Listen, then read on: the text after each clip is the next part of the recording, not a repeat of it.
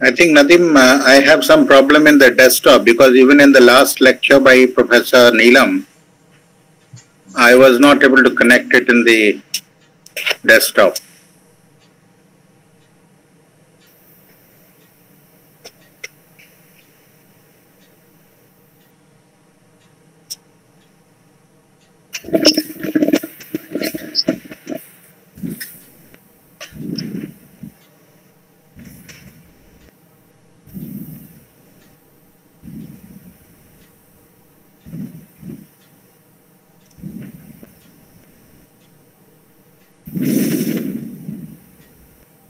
So all set, we have one minute to go.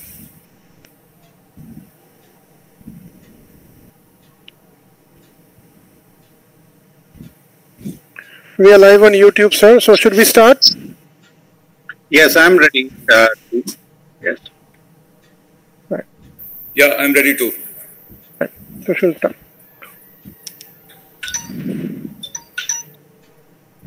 Uh, good evening, everybody. Welcome to this evening episode of Pursue.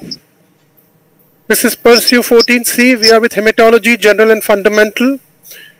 And we have two extraordinary hematologists here, to one to moderate and the other one to present. And the topic of the day is morphology, the central pillar of hematology, decoding the peripheral blood film, which is so very important. I take pleasure in introducing the moderator, and Dr. and moderator sir will introduce the presenter. The moderator is none other than Dr. Colonel Deepak Mishra, who is an MBBS MD from AFMC Pune.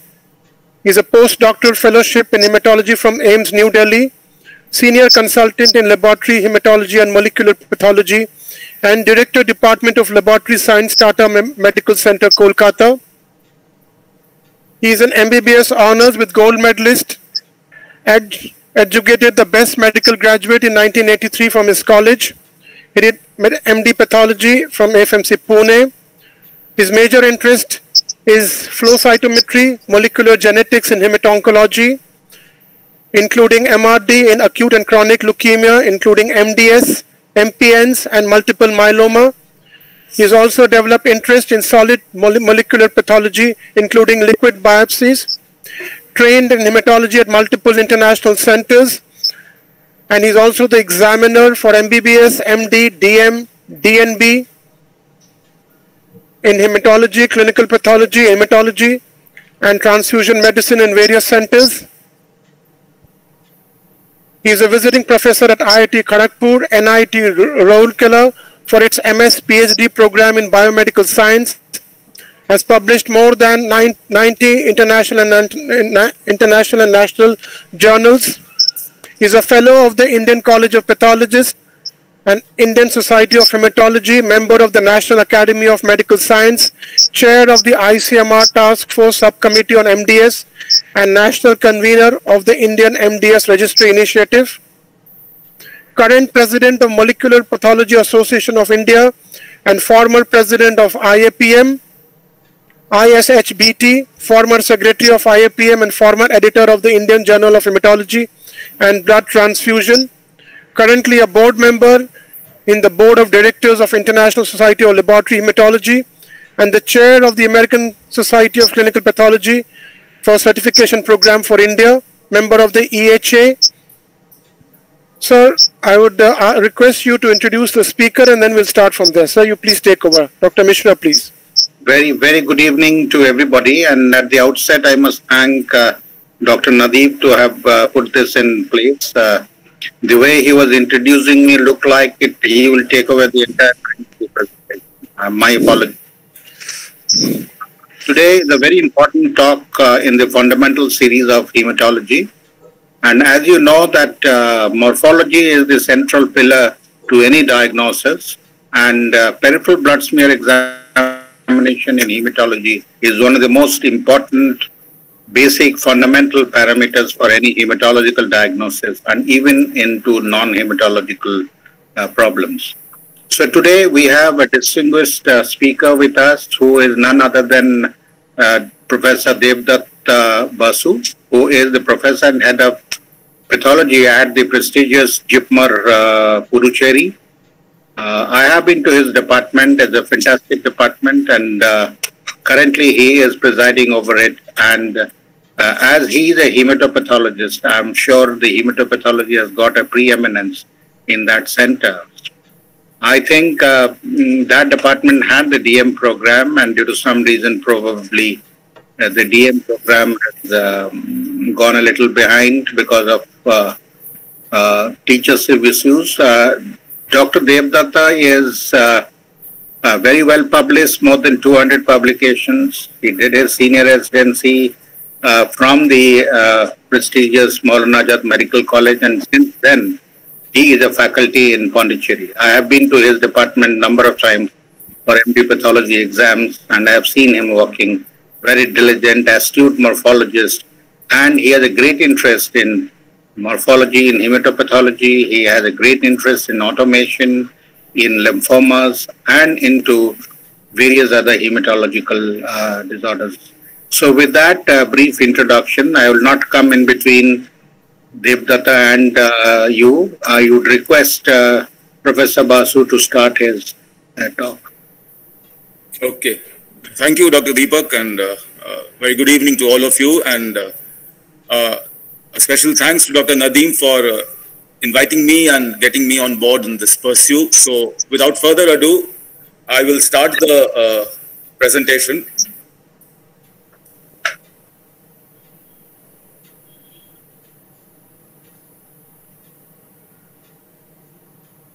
Give me a minute. Yes, so we can see your screen.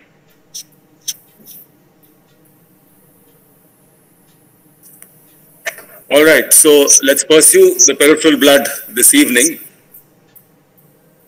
Any building or any monument needs pillars, okay, whether it is the uh, ancient uh, Parthenon at the Greece or the thousand pillar corridor at Rameshwaram temple, or whether it be a modern, uh, absolutely a modern architecture, or for the uh, people in Kolkata, the uh, food court of the South City Mall. All buildings, all edifices, all institutions need pillars. And if the pillars have inscriptions, this is a pillar in the ancient Greece, in the, in the pyramids, where the inscription or the pictograph of hieroglyphics was decoded by Jean-François Champollion.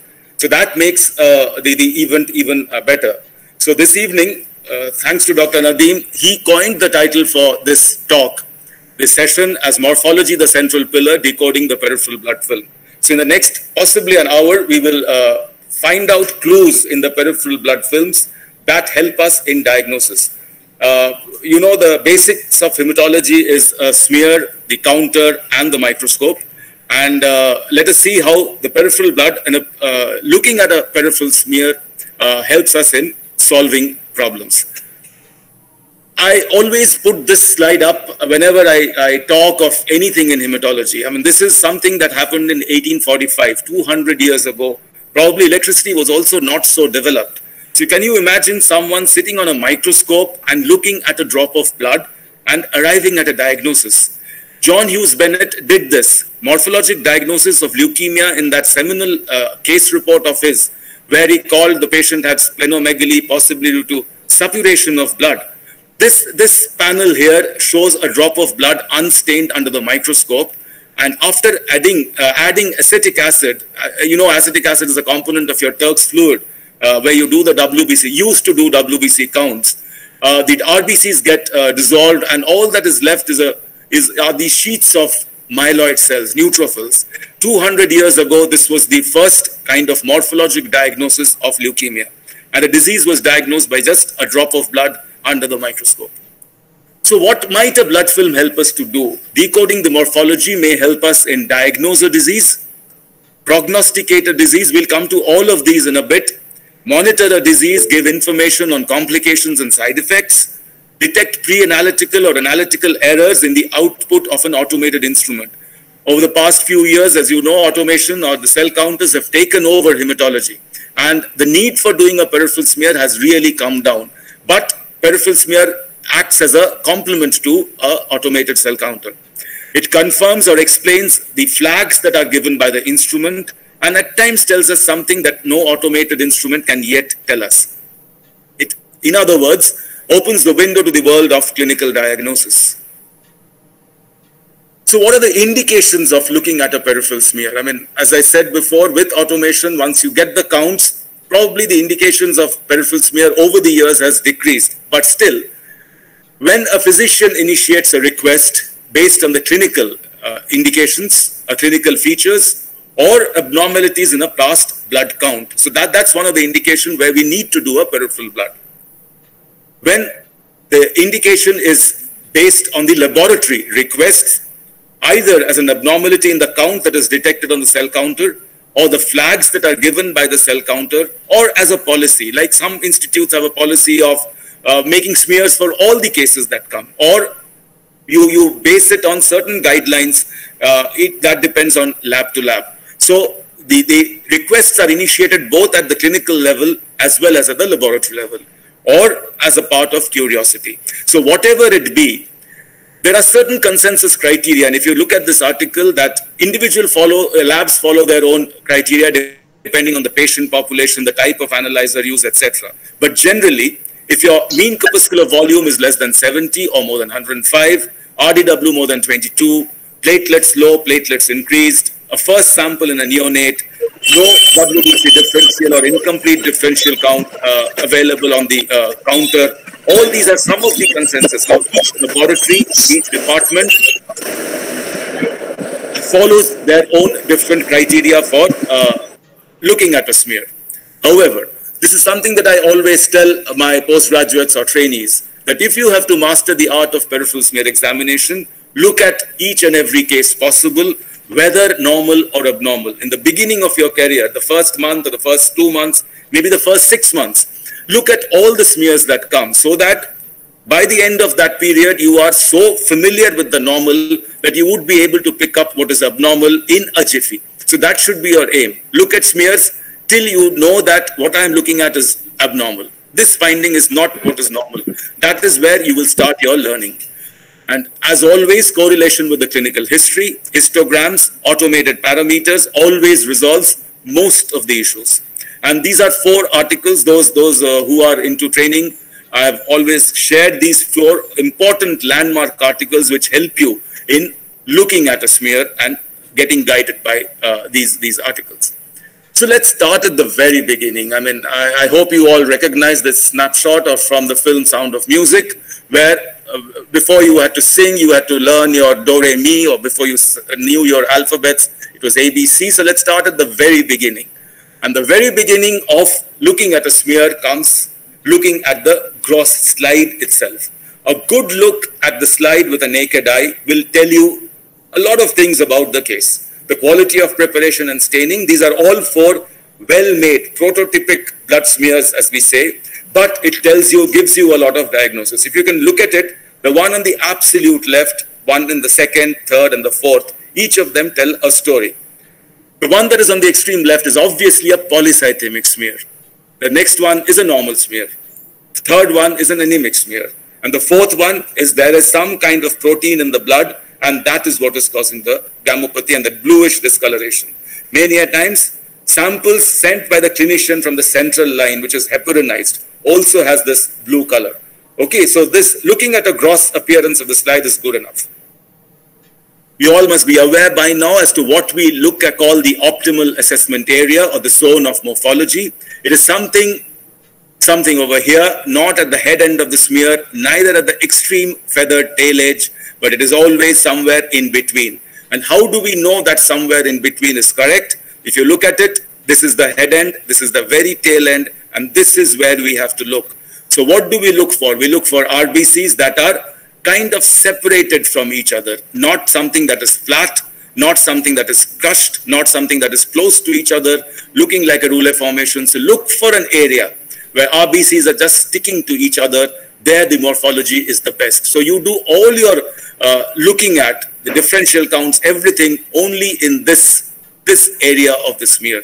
That's why we insist that a smear has to be made well. I will not go into the details of how to make a smear and all that because that would not be a part of this uh, talk. So what are the features of a well-stained smear?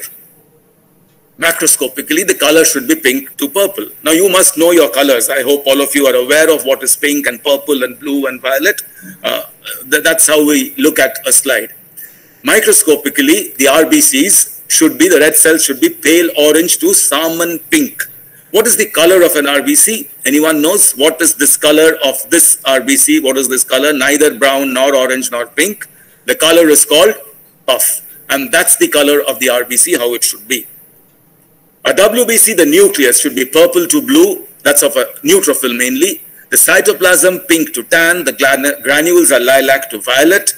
Eosinophils are important. They have this orange colored granules and the basophils have dark blue to blackish granules, which often obscures the nucleus. Now, this is all basic. I'm sure all of you are familiar with this. Now, this is a normal smear, how it looks. It's also very important that the pH of the stain that you use is well maintained. And if you get a too basic a smear, you will get your eosinophils gray granules and the red cells are gray in color. So again, this is not a well-stained smear there, there is a problem and you might land into problems looking at a smear like that. So train yourself and train your technicians to make good quality smears. That's the first trick of the trade. Now let's look at one particular case. On a routine checkup, the CBC came as this. Hemoglobin 2.4, TLC 500, platelet count 1200. All right, so there's obviously marked cytopenia that the cell counter has given you. So now what do you do? The first thing you take is look at the smear. What are, what are we seeing over here in the smear? What we are seeing is nothing but fibrin strands and platelets that have been caught up in it. So this particular sample had a little bit of a clot, which was missed while the cell counting was going on. The blood went and the cells were not there. So the cell counter gave it as a severe pancytopenic because the entire cell population was caught up in the clot. One problem that this clotted samples could do is it could clog your tubes of the cell counter. So that was a problem, but at very low magnification itself, at 10x, this is what we do. We look at the distribution of cells, you select out your uh, zone of morphology, look up 10 good low power fields, you can pick up rouleau formation, you can pick up agglutinated RBCs, you can pick up clumps of platelets, and you can pick up even big parasites like microfilaria, all at looking at just the 10x magnification, the lowest power that is for hematology. And if you see fibrin strands in your smear like this, you reject the peripheral smear, reject the sample, inform your clinician, look, boss, there are clots in the sample, we can't do much about it. Please repeat a better prepared or better taken sample ensure that you add a proper amount of anticoagulant and mix the sample well while you're sending it. So after 10x, we have the 40x and the 100x. In 40x, we look at the RBC morphology in a while. We also look at the differential count. The differential count of the WBCs is done at 40x. At 100x, we further reinforce the RBC morphology, the WBC morphology, look at platelets properly. The inclusions and the parasites are all picked up in oil immersion. But always start with your low power, move on to high power and oil immersion only for these few things. You just confirm your findings on oil. So the overview of my talk for convenience sake, you know, would be first we will look at the interpretation of the RBCs, then the WBCs, then platelets. We look for parasites and all the while we learn to appreciate artifact. One artifact you've already picked up is clotted samples. And we will therefore look at the RBCs with their muscle power, the WBCs who are ready to defend, and the platelets who build up the vasculature well. All right, so let's start with the RBCs. When we look at RBCs, the smears give you a fairly accurate assessment of the red cell size, shape, distribution, and inclusions. It also correlates well with your uh, the cell counter, the various red cell indices, and also another important thing for all of us to learn is we need to standardize the terminologies that we use. It's better to call elliptocyte rather than pencil-shaped cells. Better to call spur cells, uh, better to call acanthocytes, better to call burst cells. Let us have some standard uh, definitions or standard uh, ideology about what cell is what. Okay, so better uh, be uniform and it's better to give the scientific names uh, whenever you are encountering them. Caution must be exercised in deciding whether a morphologic abnormality is actual or artificial. We'll, we'll go into that in a while. Again, these two uh, articles which give a lot of recommendations for the standardization of nomenclature and grading. as well as how to look at and how to grade abnormalities. You know, it's good to know what do we mean by 1 plus, what do we mean by 2 plus, what do we mean by 3 plus, or mild, moderate, severe changes. So these two articles, please, all of you, those who are actually into the uh, practice of reporting on peripheral smears, please get them, keep them by your table and look at them. You have lovely tables which give you all the basic, all possibilities that can be there of the RBCs and what do we mean by normal, what do we mean by slight, what do we mean by moderate, what do we mean by marked in terms of each of them. Okay, like for instance, you see burr cells more than 30%, report if they are present. Like that it is given so that that gives you a good idea of how to go about it. Similarly, each of them, when do we grade and how do we grade is given very well. All right. So let's start. Basic again, something that you should all know. We compare the size of these RBCs with that of the nucleus of a small lymphocyte. Smaller than that, it's microcytic. Bigger than that is macrocytic, right? This is hypochromia when the central pallor is more than one third. This is, this is all right. This is quite all right. But these cells are the central pallor being more than one third of the entire uh, circumference. So these are hypochromic. So you can make out microcytosis and macrocytosis and hypochromia by looking at just a few RBCs compared to a nucleus of a lymphocyte. So what does this slide show?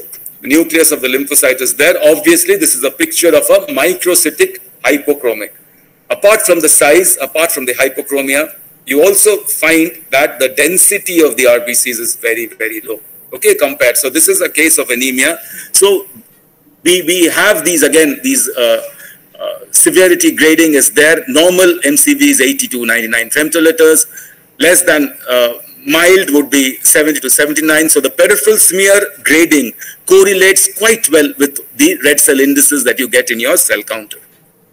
This one is hypochromic and similarly, how do we write or how do we say what do we mean by 1 plus, 2 plus or 3 plus? Okay, so this is again technical and this, this understand this concept well.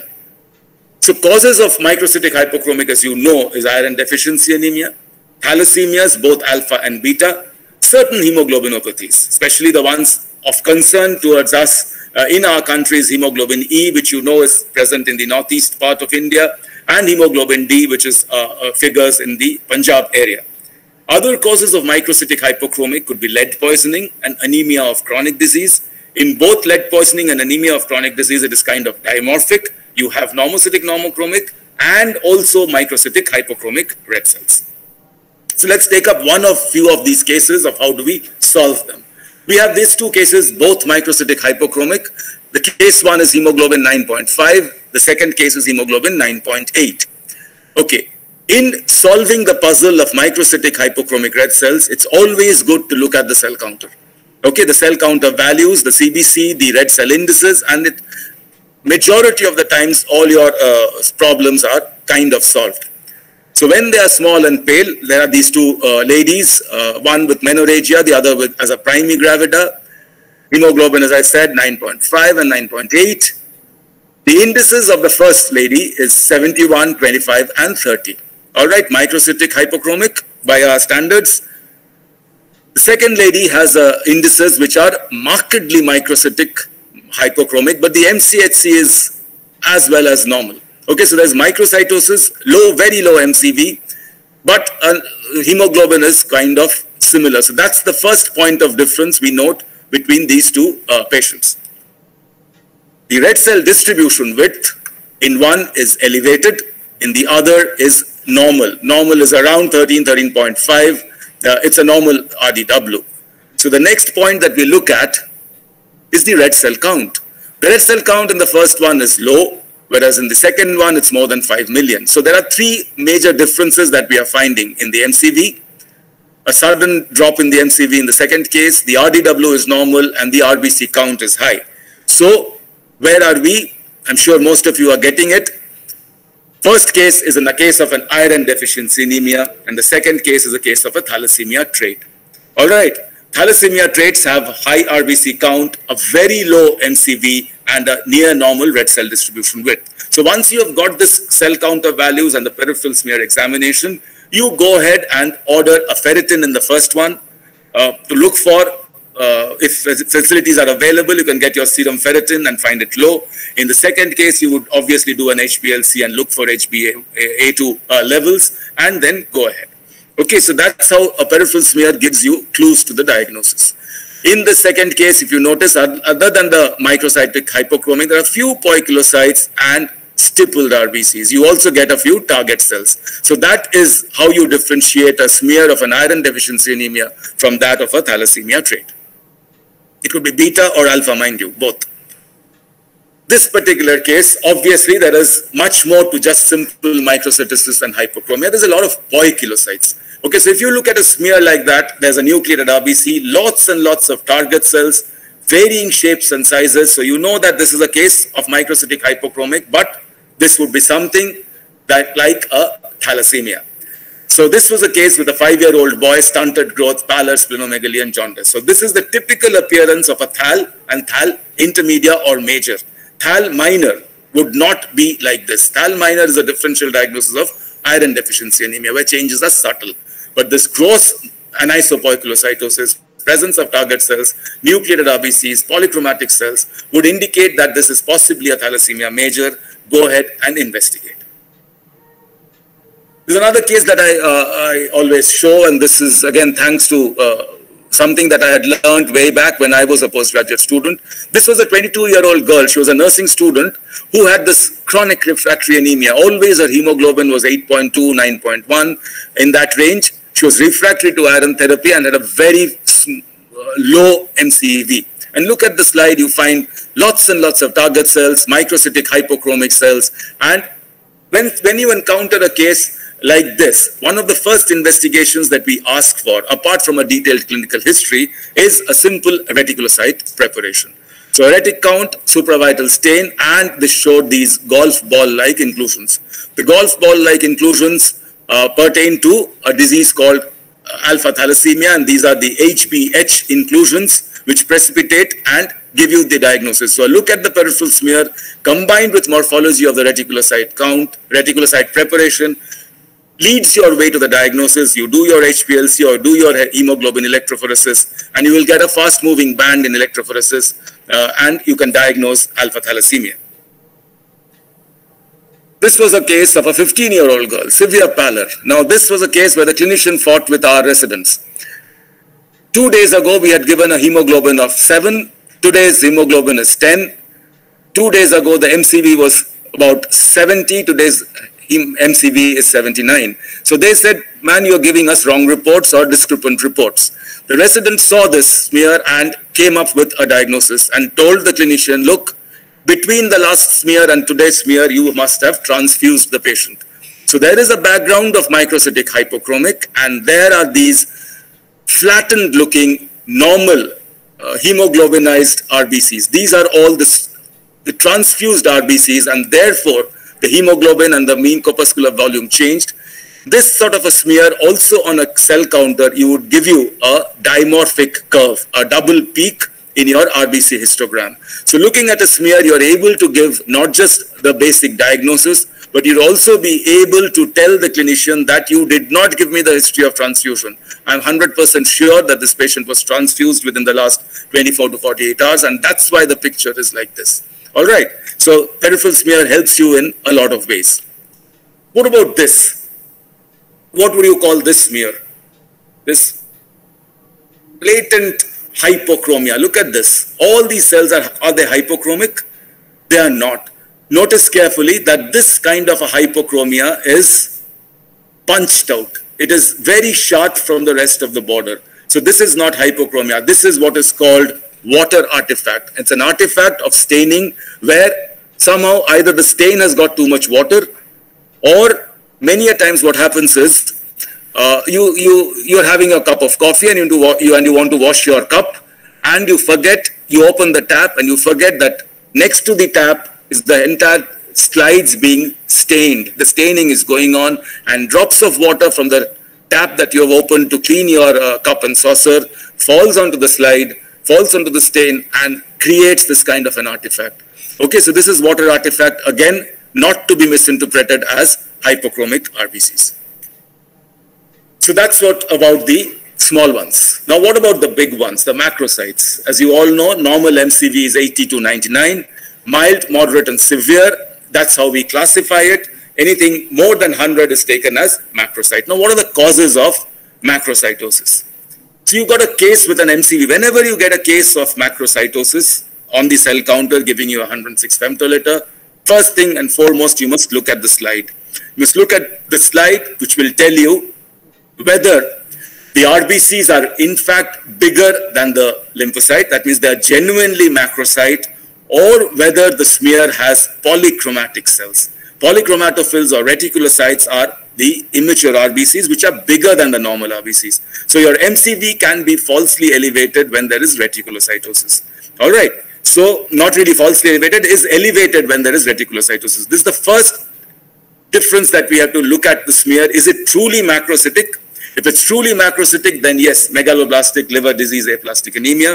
If it is full of polychromatophils, you think of hemolytic anemia, post-hematinics, and you do a retic count.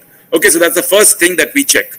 Also, when you get a very abnormal and high MCV, MCH, and MCH, you know, unthinkable MCV of uh, 50, 60, 70, MCHC going on in hundreds, the first thought that should come to your mind, whether the red cells are agglutinated okay, these big, big clumps are picked up as a high MCV. And so when a grossly abnormal indices come, look for agglutinated red cells. So a true megaloblastic anemia would show you these findings. Macroovalocytes, right? Oval-shaped macrocytes.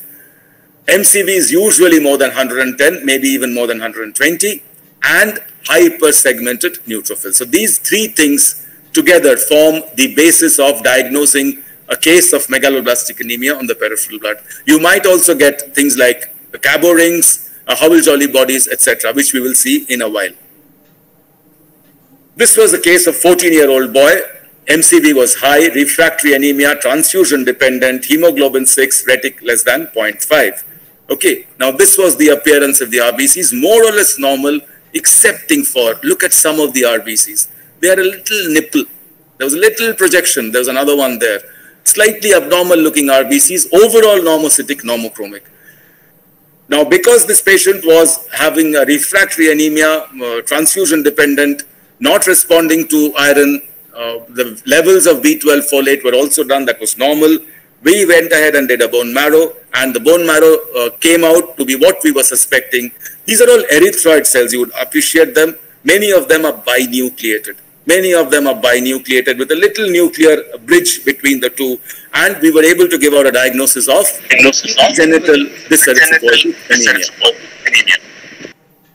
Okay. This was another case which I want to show because, again, a good look at the peripheral smear helped us in diagnosing this disease. This was again a 10-year-old boy, a child whose hemoglobin was very low. The MCV was 100.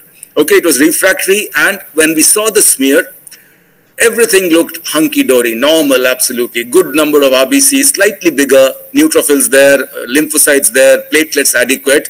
And we looked. We looked. And we looked again. We looked at the smear, everything looks normal. We looked at the smear, everything looks normal. Looked at the smear again, about 10, 12 fields looked normal. But was it really normal? Something that is normal was missing in all these slides what is that normal thing that was not available, that was not visible to us at all? Normally, we did not see a polychromatophils. Polychromatophil normal percentage is 0.2 to 2%. So at least if you look at 10 smears, you must find some polychromatophils. In a child with a hemoglobin of 4, you expect the marrow to be reacting and throwing out a few of these uh, immature RBCs or polychromatophils absence of polychromatophils. We did a retic count was uh, miserably low retic. We could hardly count a retic in this particular case. So a marrow was asked for and we saw the marrow was very cellular, full of myeloid cells and caught up in them were these few large blue colored cells.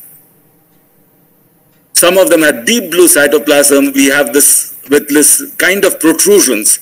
We call them dog ear kind of appearance. Look at this huge cell. These are basically uh, proerythroblasts, early erythroid forms. There was the marrow was full of myeloid cells, there were hardly a few of these erythroid precursors, and that too proerythroblasts with this prominent abnormal inclusion like nucleoli, and we were able to give out a diagnosis of pure red cell aplasia in that child.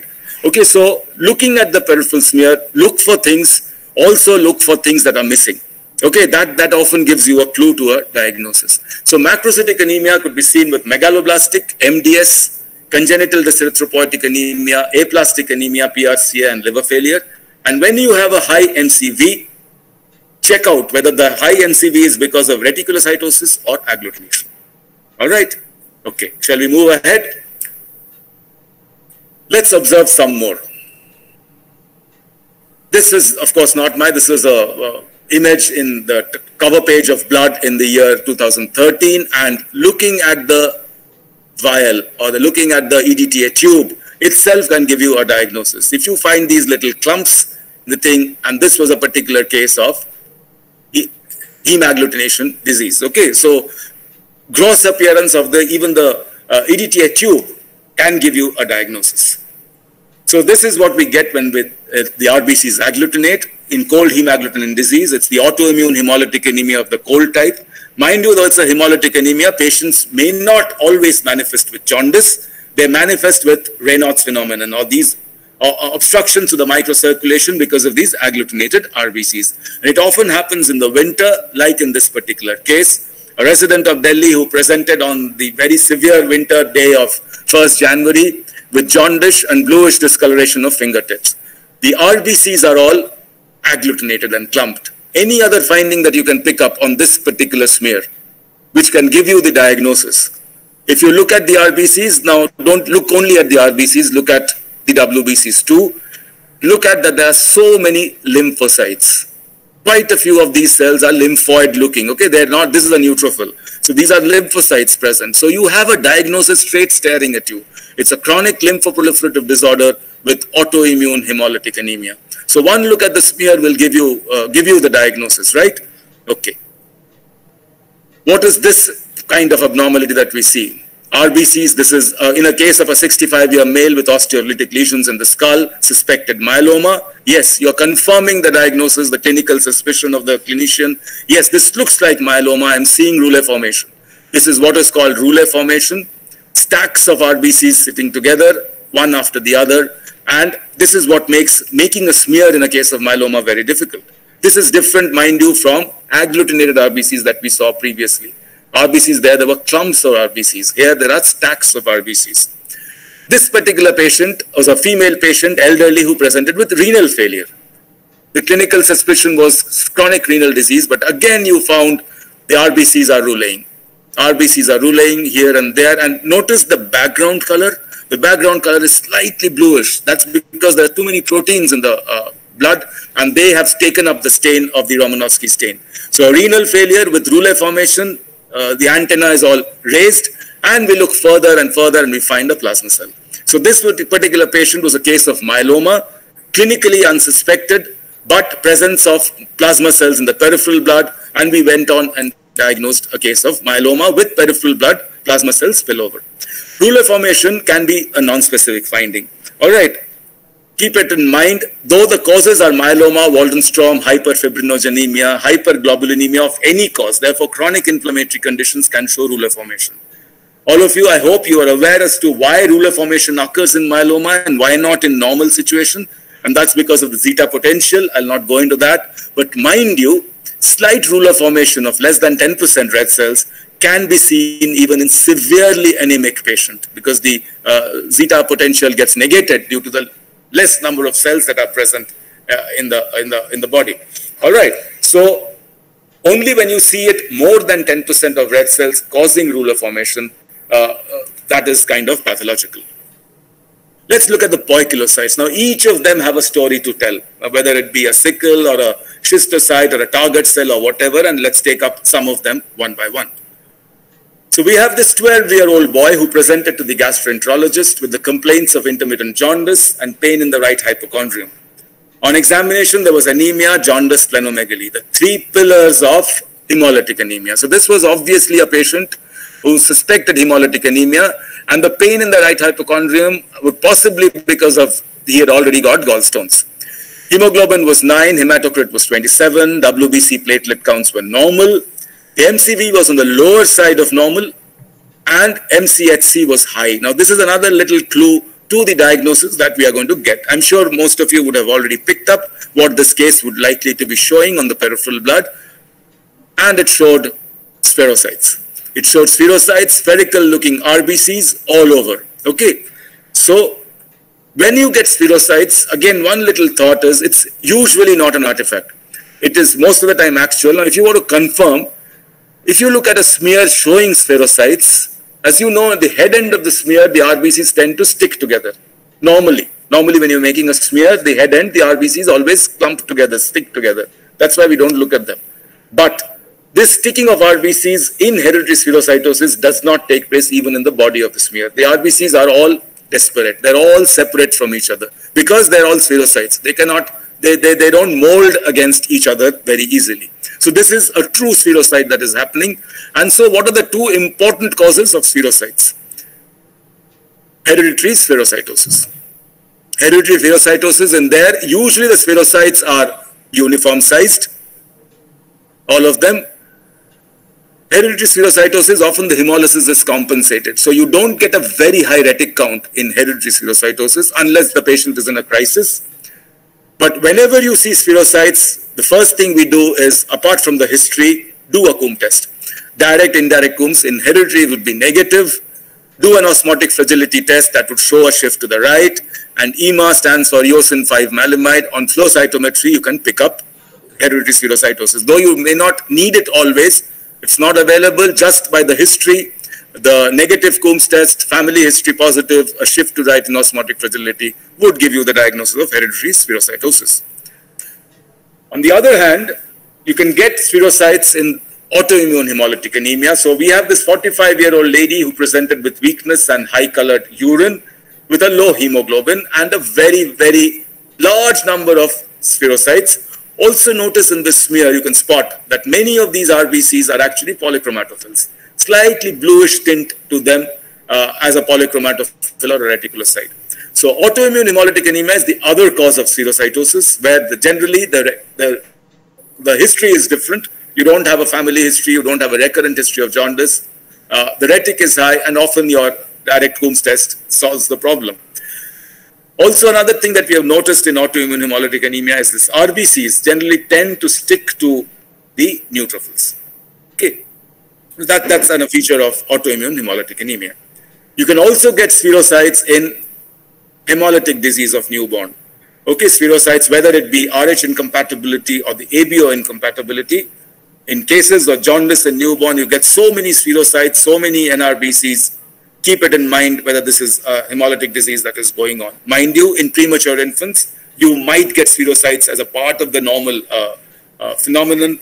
Uh, also, you might get a couple of nuclear RBCs. In a premature baby, uh, term, uh, term baby does not show so many NRBCs or spherocytes. Okay, so that is another thing that you must keep in mind when you're looking at a newborn uh, blood sample. So spherocytes are usually absent in normal adults and you can grade them depending on their percentage. As I said, two important causes are these two, hereditary spherocytosis or autoimmune, but there are other causes. First and foremost, transfused blood sample. Notice that first case we showed where the iron deficiency anemia had been transfused. The RBCs, uh, which are transfused, often look very spherocytic. That's because whenever we transfuse uh, blood to a patient of anemia, we generally give out slightly older blood from the blood bank, you know, and so uh, morphological changes do take place in the red cells and they often look very uh, small and uh, compressed looking. It is a feature of hemolytic disease of newborn. It's seen in mismatched transfusions, post-splenectomy. Some hemoglobinopathies may also show spherocytes. Microangiopathic hemolytic definitely a cause for spherocytes, can be seen. Severe burns, certain infections like Clostridium perfringens, uh, etc., can also show spherocytes in the peripheral blood. This was again a very interesting case. It was a 61 year old lady. Actually, this lady belonged to, we had one uh, professor who uh, whose daughter was getting married, and he was from Kashmir. And for his daughter's wedding, his entire family of five sisters and few brothers all came to Pondicherry. And as usual, when they come, they come to a, a though they are absolutely normal, healthy, they came for a routine checkup. So this first lady, who was the, the elder sister of the of our professor, we found these, sorry, we found these, what are they? Elliptocytes, elongated RBCs. They are not hypochromic, they are normal looking. And then we were wondering, and since the whole family was there, we said, okay, come along, let's, let's get all of you checked up. And all of them had hereditary elliptocytosis and they were all perfectly all right through their life. And they, they did not even know that they had this entity in them. I don't call it a disease.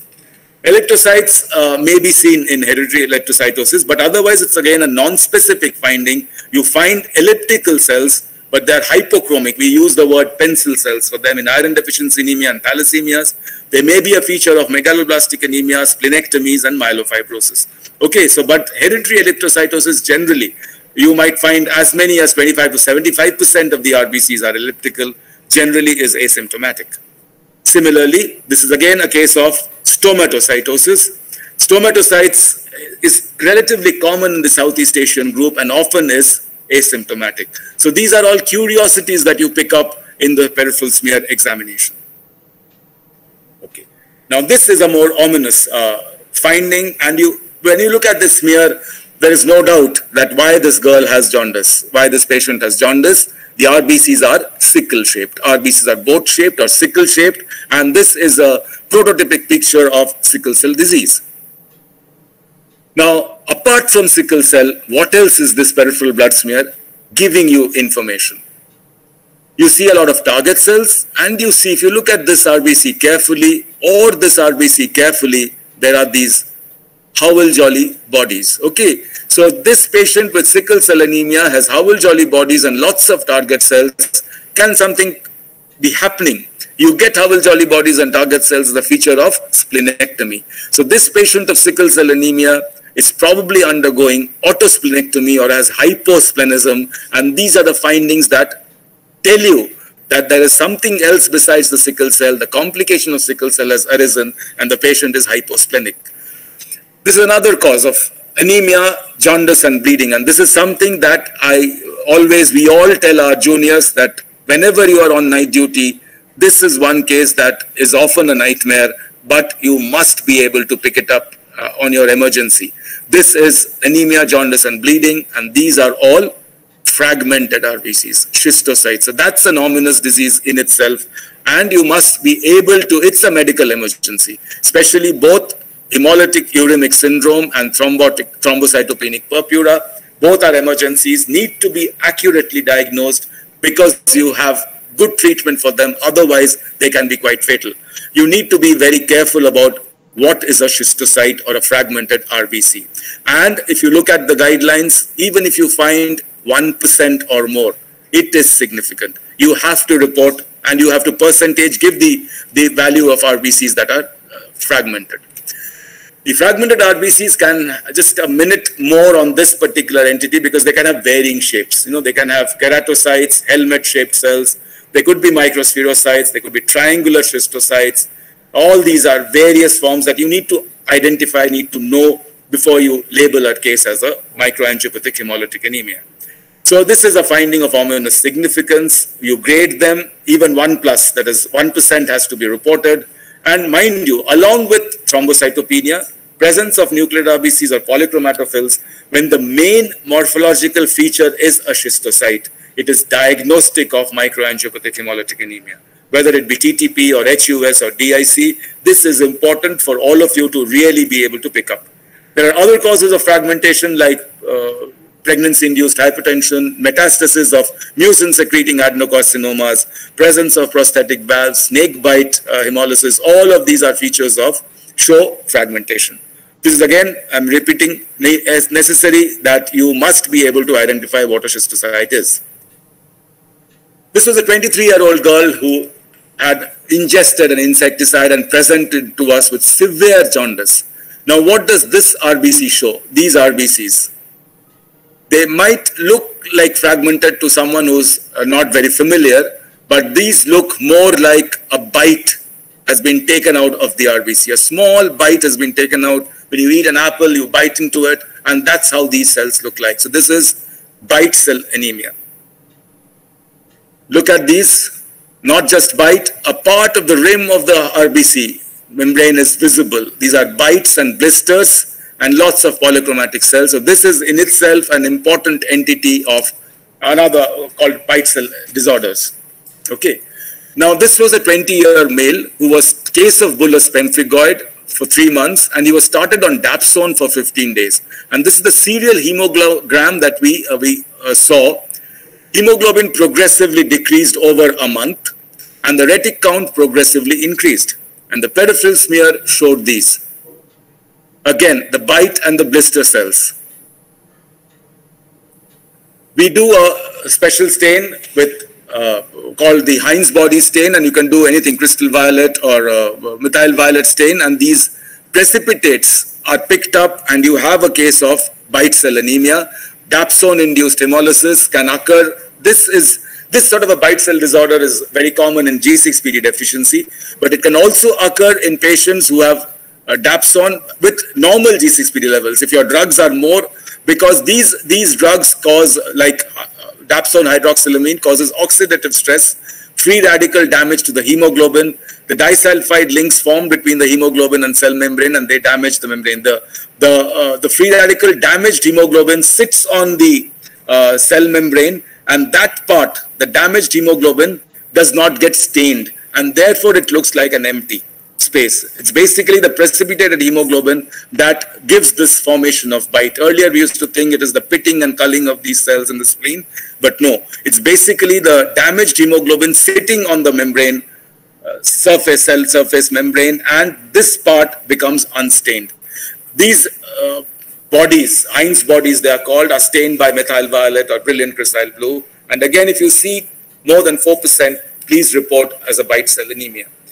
So this was a case of young woman with jaundice and liver failure. And again, similar, instead of a bite, we saw these little protrusions here and there. Lot of polychromatic cells, lot of spherocytes, and this was a case of Wilson's disease. So basically, bite or blister cells are irregularly contracted cells G6PD deficiency, oxidant drugs, chemicals, chronic liver disease, Wilson's disease, and morphologically as a part of postsplenectomy. But here, this is the area where uh, this often comes up, lands up as emergencies, lands up with acute onset jaundice, acute onset hemoglobinuria, and the patient can have renal failure and uh, can be uh, quite a morbid condition.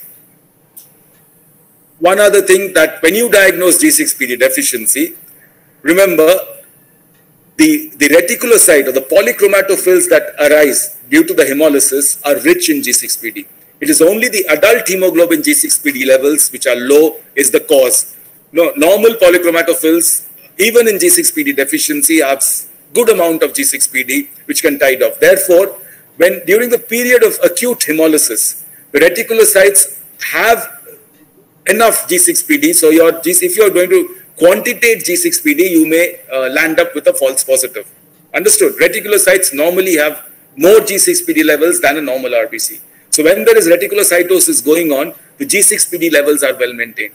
So during the case of post-acute hemolysis phase, bite cells give you a clue to the diagnosis. Once the hemolysis uh, subsides and the patient becomes normal, at that point of time, when reticulocytes disappear, if you do a G6PD level, that is the point of time when you will be able to accurately diagnose G6PD deficiency.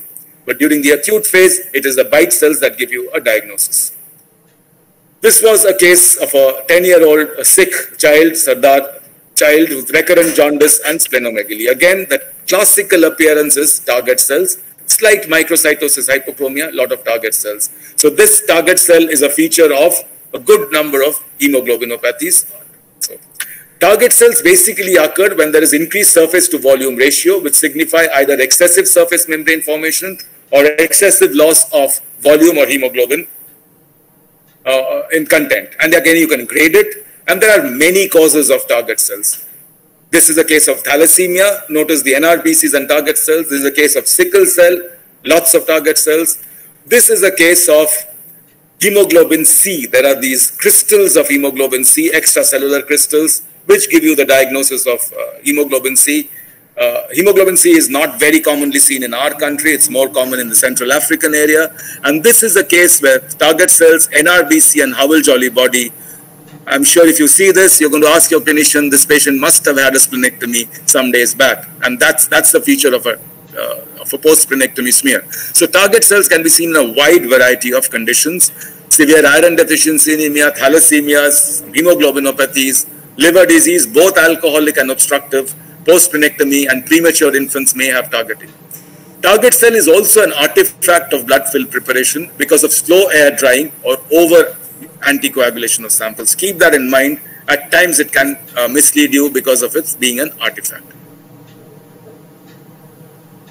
These are acanthocytes or spur cell anemia. Spur cell anemia, acanthocytes, irregular projections from the red cell membrane, uh, not a very uniform distribution, irregular in number and irregular in height. So acanthocytes are a feature of significant finding of asplenia along with Howell Jolly bodies and targeting. They are of course a feature of A beta lipoproteinemia, McLeod phenotype and alcoholic liver disease.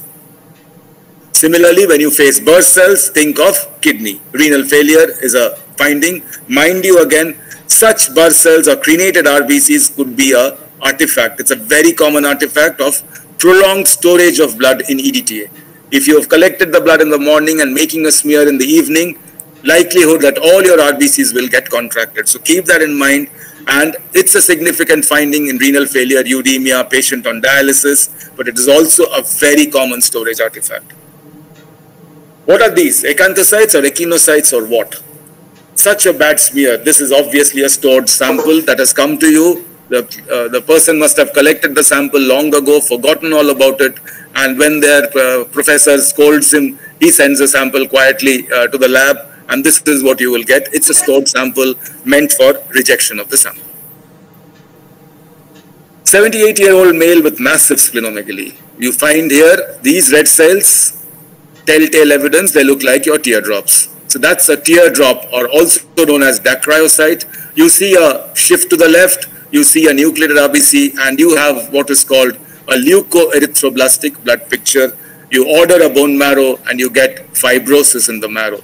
So presence of fibrosis in the marrow is reflected as the tear dropping in the red cells. The, the RBCs find it difficult to squeeze out of these fibrotic sinusoids and therefore apparently their shape becomes tear-shaped. Similar uh, tear dropping and leukoerythroblastic anemia in a child with massive hepatosplenomegaly, in a baby with a massive hepatosplenomegaly, clinically thought of as storage disorder. And we had these uh, teardrop cells, NRBCs in the smear uh, occasional blast also, a bone marrow aspiration. This was leukoerythroblastic picture, a lot of NRBCs left shifted, and a bone marrow aspiration was done, which yielded a dry tap. Bone marrow biopsy then significantly gave us the diagnosis. This is what you get in osteopetrosis or marble bone disease.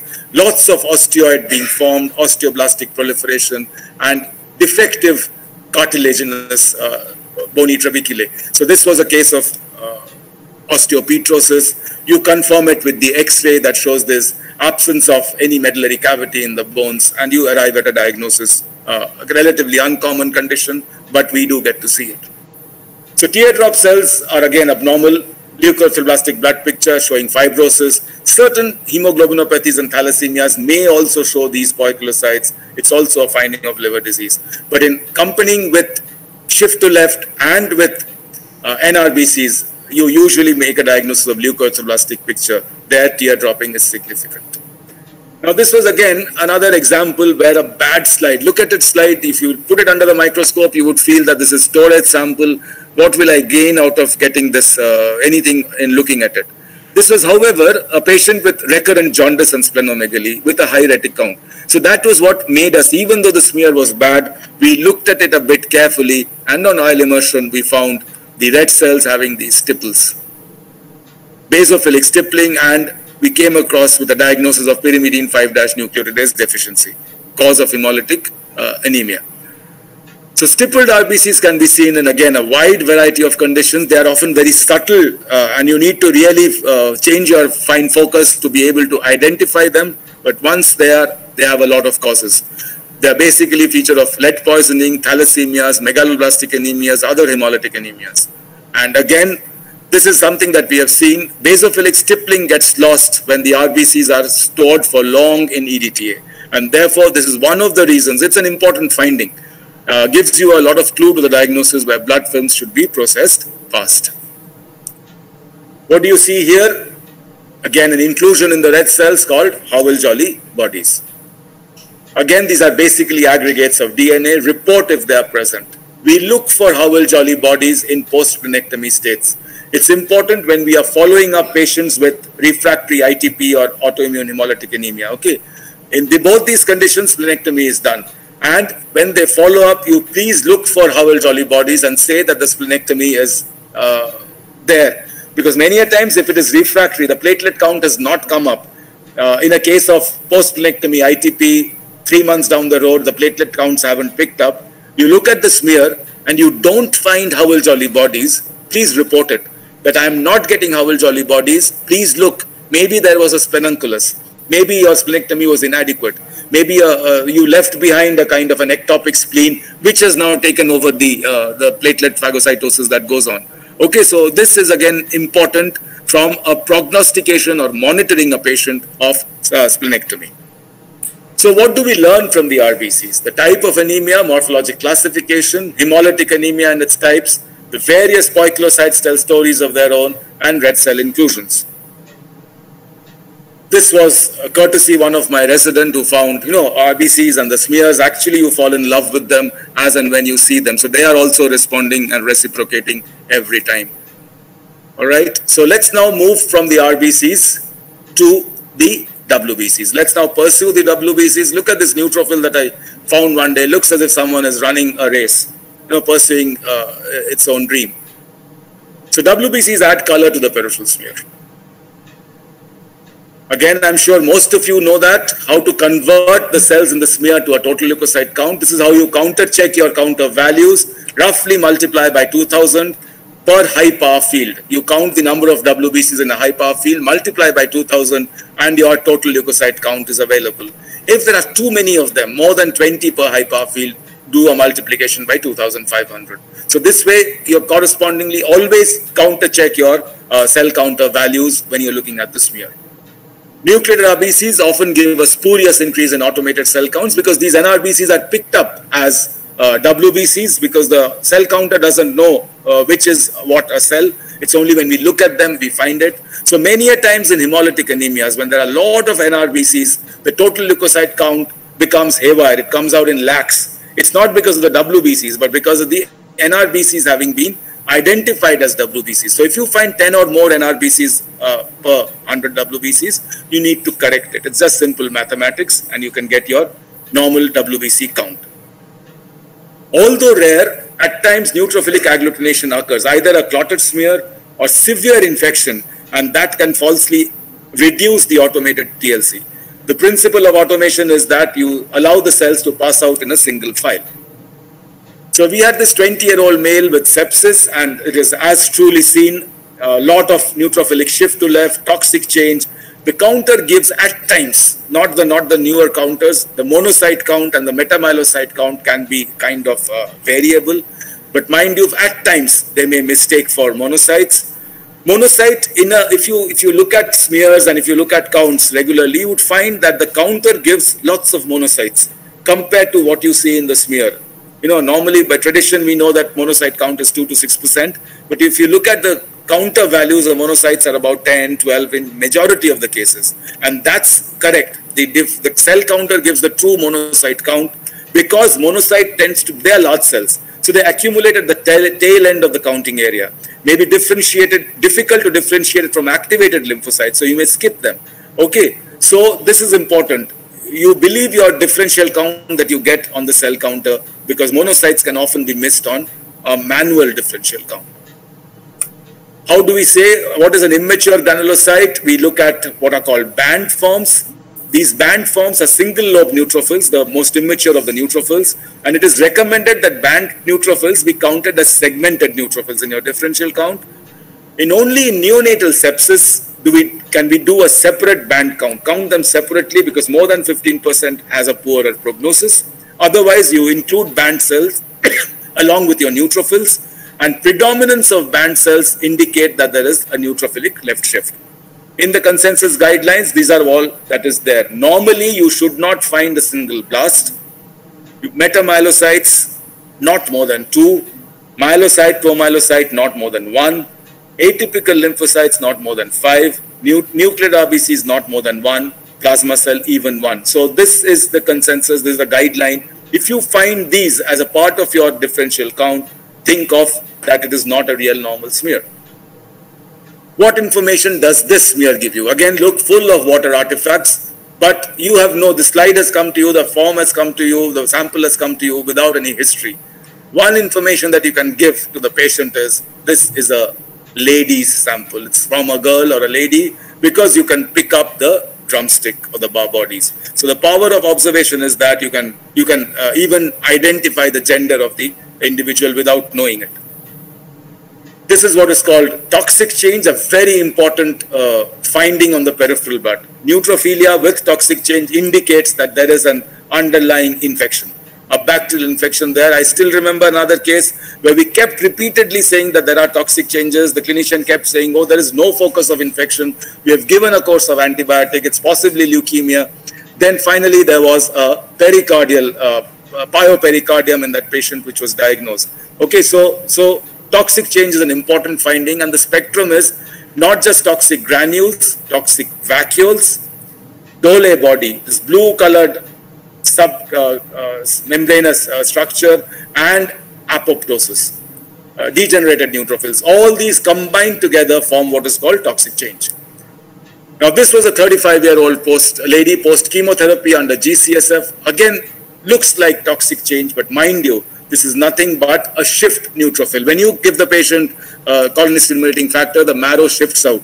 If you remember, one of the changes that take place from myelocyte, metamyelocyte uh, to a neutrophil is packaging of the granules. So generally the immature neutrophils, immature myeloid cells have more granules, at least look more granular.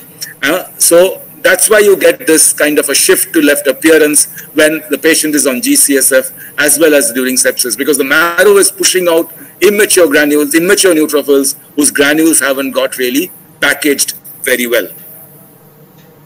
This was another case, eight-year-old child with recurrent chest infection. And look at the neutrophils here, very prominent, brownish, violaceous colored uh, granules. And this, looking at it, you would arrive at a diagnosis of Chediak-Higashi syndrome. So that's what it is. This particular case, an 11-year-old, 11-month-old child with delayed milestones and hepatosplenomegaly, neutrophils have vacuoles, lymphocytes have vacuoles. That's another morphological finding.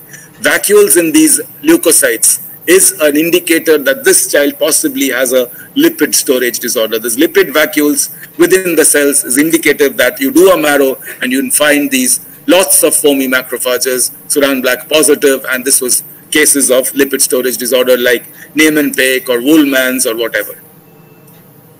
This was another slide or a smear that I'm very fond of. This is probably the only time so far that my, my photographs have adorned the page of the blood journal. This is basically an incidental finding in a jaundiced newborn bilirubin crystals, indicative of severe neonatal sepsis, not seen in so much in hemolytic disease of newborn, but bilirubin crystallizing within the neutrophils, either as long crystals or short stubby crystals, is a feature of severe neonatal sepsis. Okay, this was a college student with fever and cervical lymphadenopathy, and you have these atypical Downey cells or various appearance of uh, uh, dancing skirt appearance, and these are these atypical reactive lymphocytes. This often could be mistaken for blasts, so you have to be very careful. A good clinical history uh, the typical history of a short duration of fever and cervical lymphadenopathy in a young person, you would make a diagnosis of infectious mononucleosis or viral uh, reactions.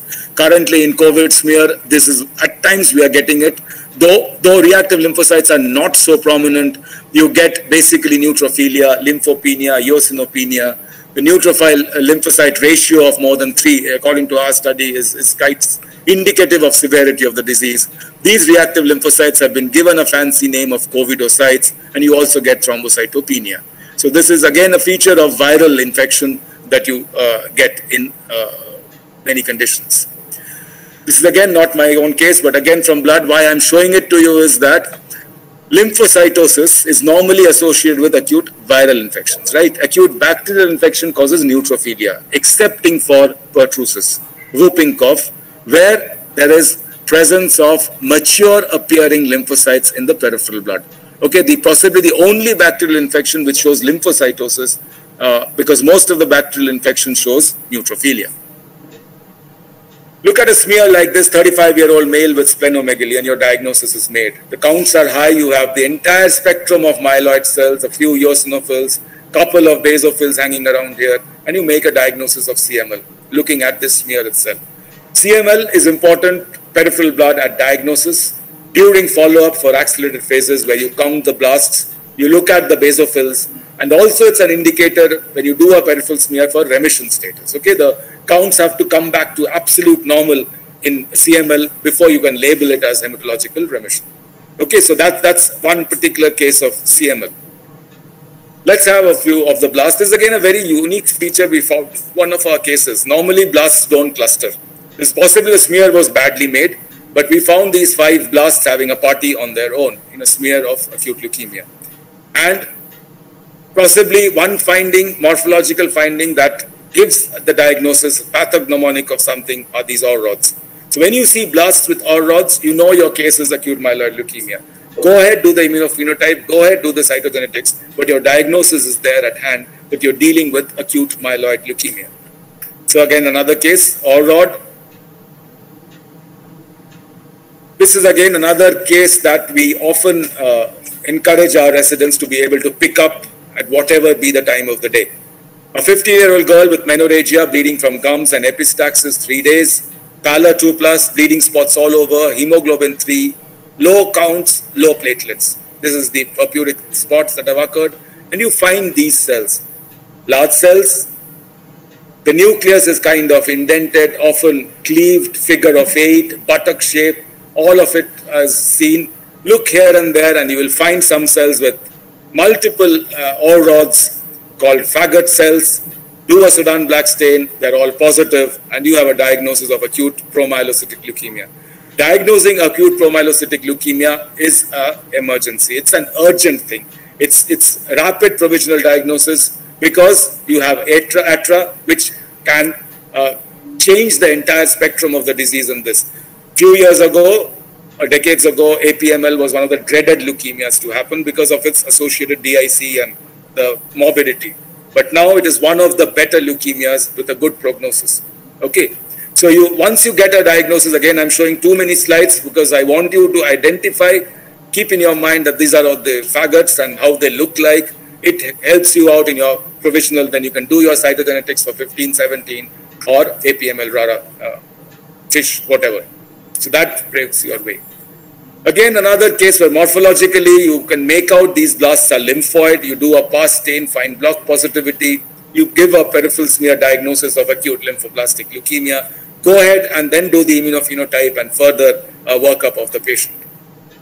Same finding lymphoid cells, but again, these blasts, look carefully, have blue cytoplasm with vacuoles. So you can make a diagnosis of Burkitt leukemia or what was earlier known as ALL-L3 by looking at the morphology and coming up with a diagnosis. Then subsequently uh, confirm your diagnosis better.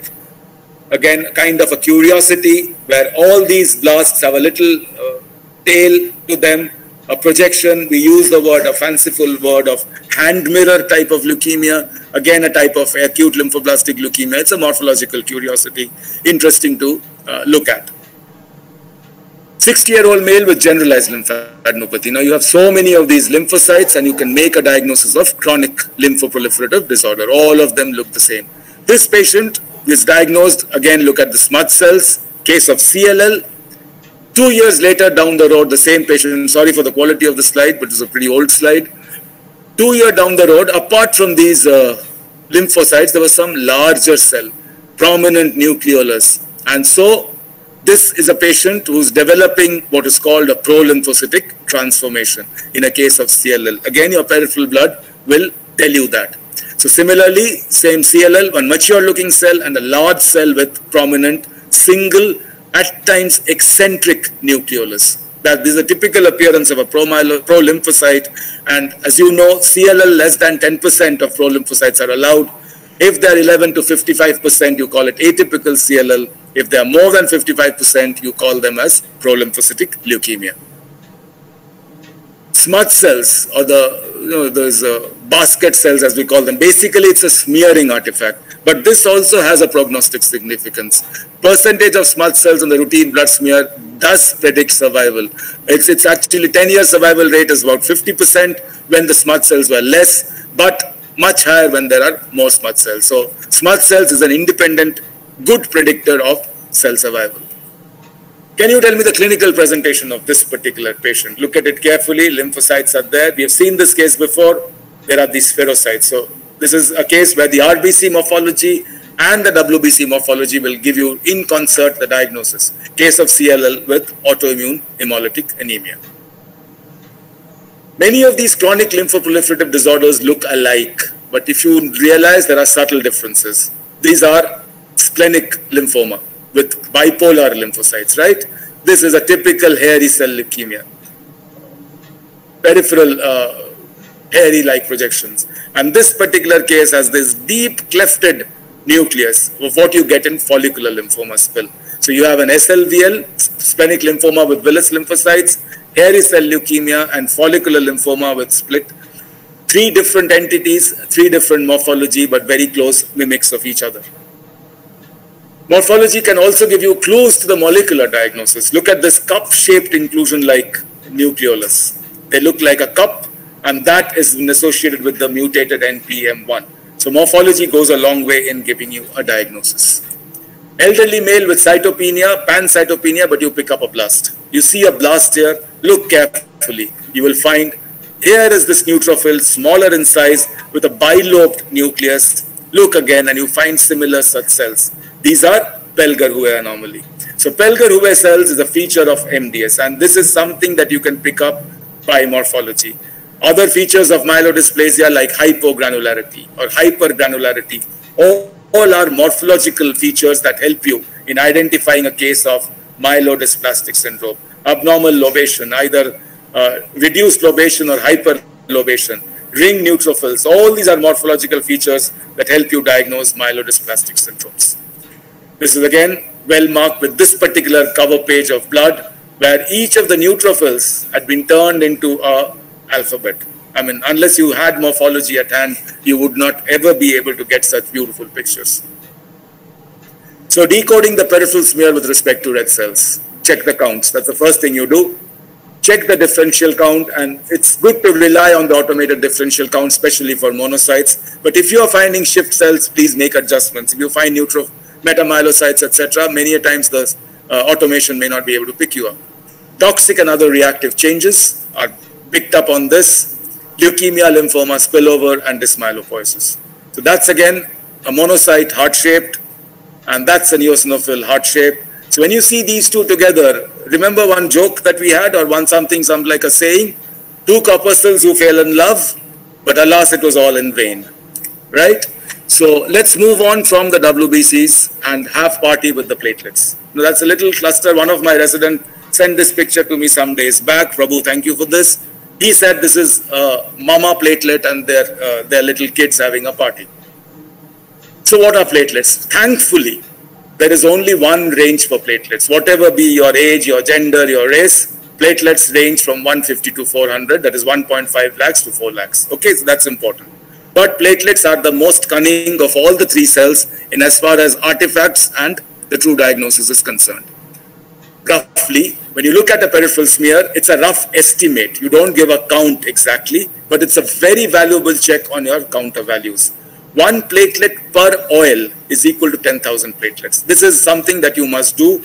Count, look at the number of platelets, count each platelet that you see by 10,000, correlate with your cell count of values, and that's it.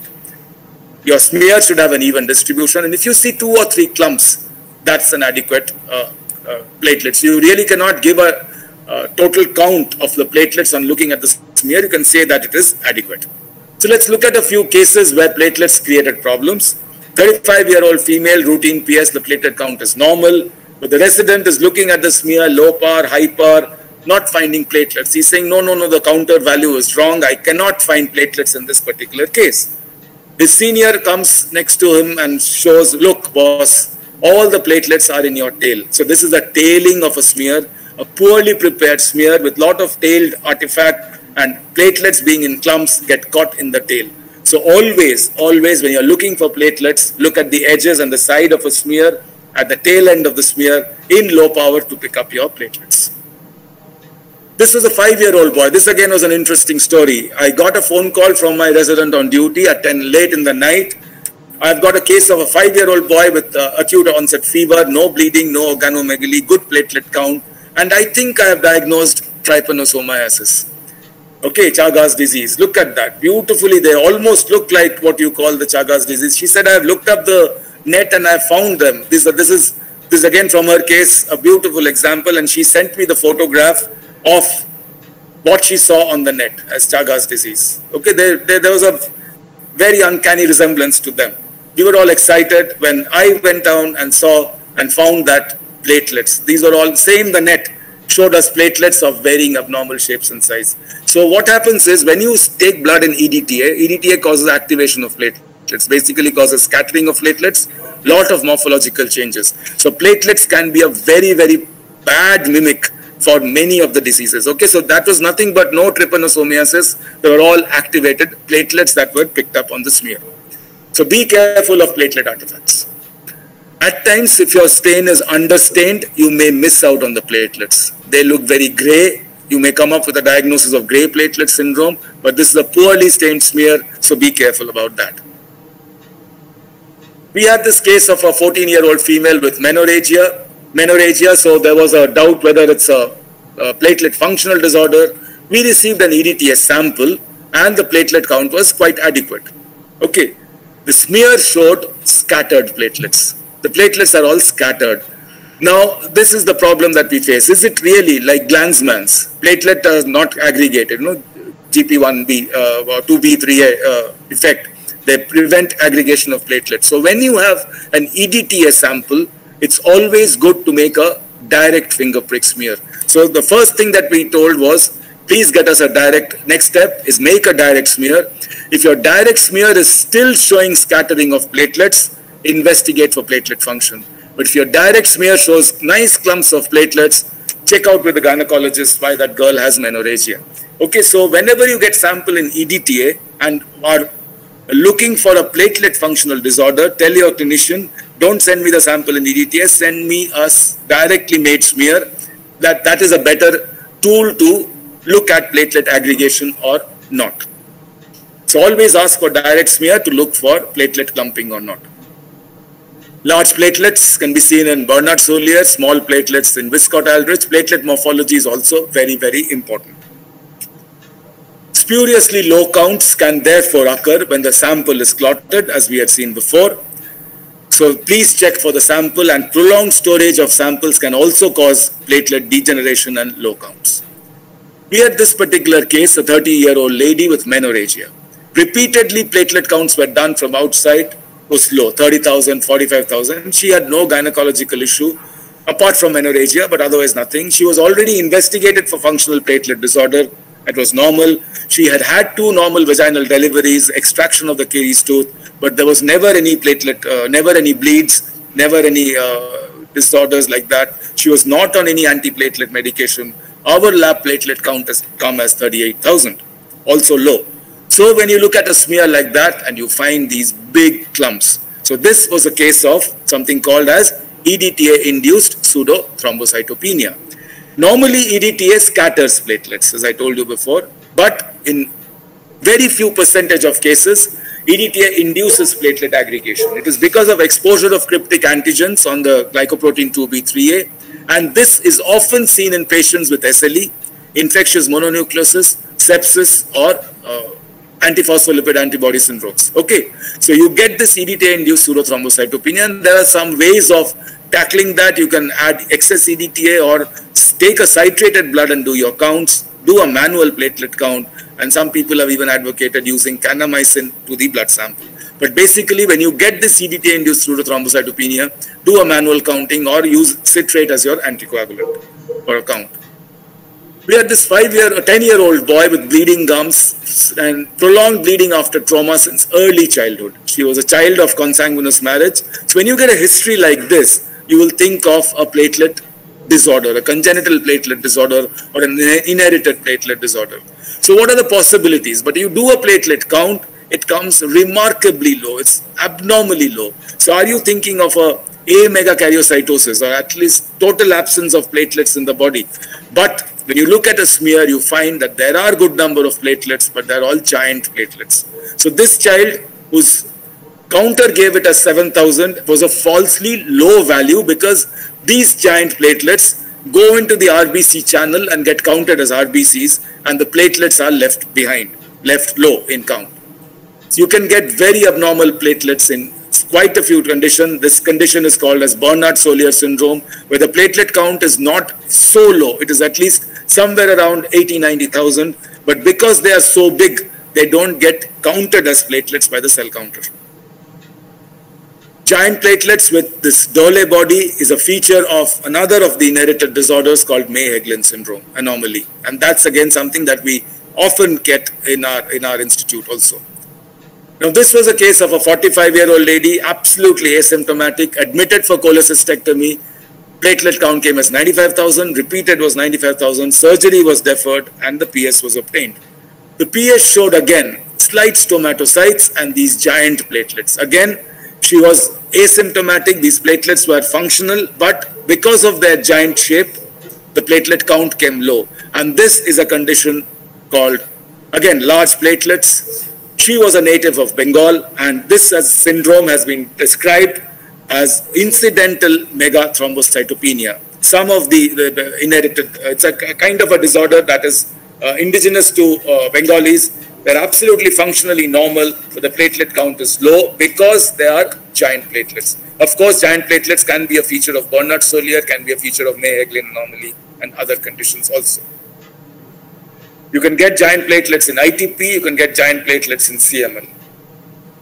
So falsely lowered counts are seen because the platelets either agglutinate because of EDTA or procedural, there are clots, or they are large per se Bernard-Soulier, ITP, the fresh platelets or the immature platelets are generally bigger.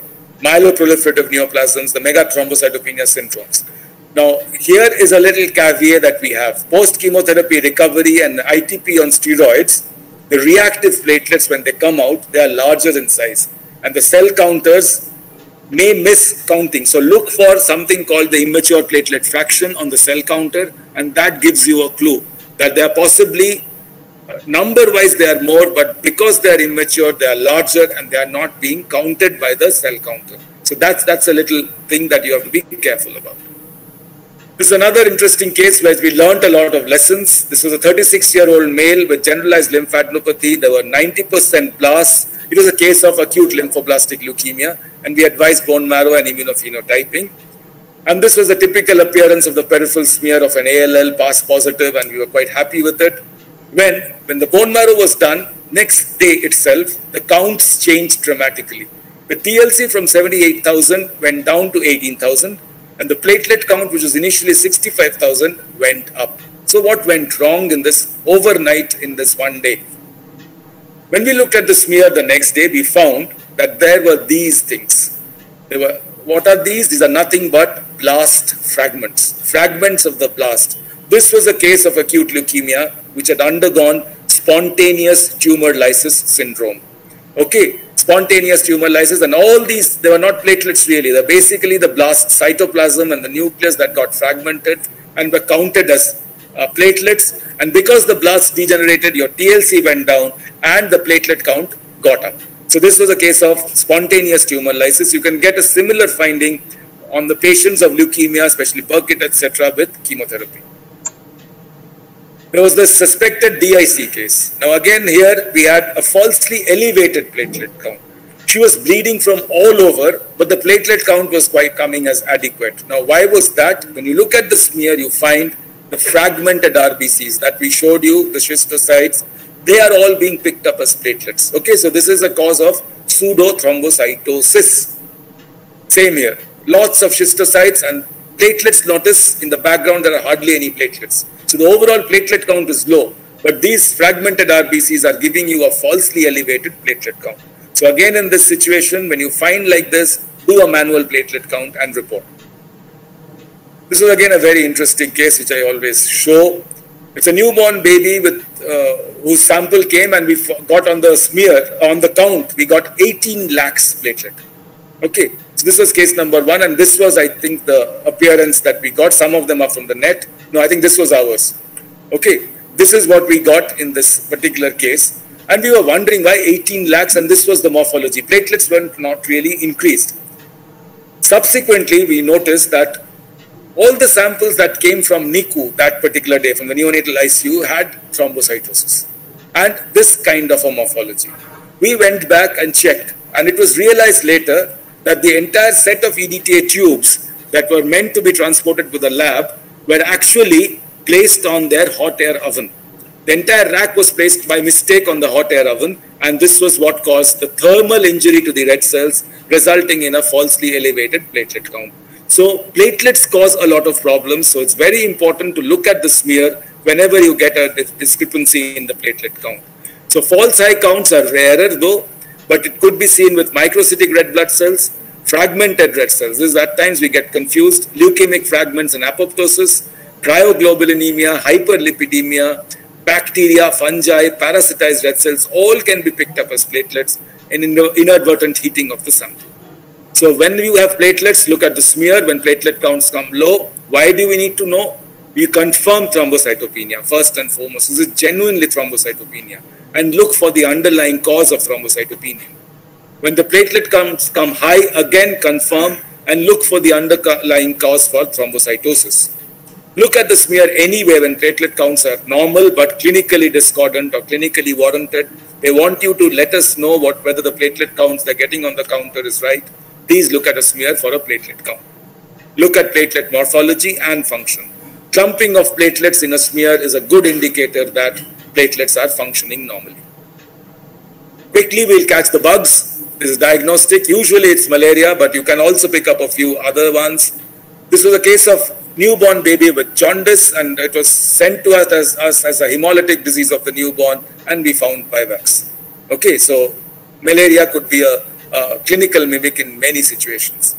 Case of suspected dengue, platelet 40,000 and you find again ring forms of falciparum. In this particular case, there are these rings of falciparum as well as gametocytes of Vivax. So this was a case of a mix of schizonts of, sorry, schizonts of Vivax mixed malarial infection, you find merozoites. So this was a case suspected clinically as dengue, turned out to be mixed malarial infection. Is there a morphologic clue to a parasite? Yes, there is. Presence of hemozoin pigment in the neutrophils and monocytes. You find them, you look for parasites and you're going to find them. This is one where there's a ring form of a falciparum and pigmented uh, monocytes. Babesia, I have not seen one so far on my own. Borrelia also not seen uh, on our own, but these are all textbook pictures. Can all be seen in the peripheral blood. Yes, microfilaria we have. Of late, we don't get too many cases of microfilaria, but yes, once in a while we do. And when we do that once, we, we really, this is another thing that a morphology of this particular case, I'll just show you on a drop of blood, and this is what we saw. Okay. This is unstained drop of blood under the microscope and you see the microfilaria swimming. Okay. This particular video is also very nostalgic for me because the voice that you're hearing belongs to a faculty member who passed away uh, some time back.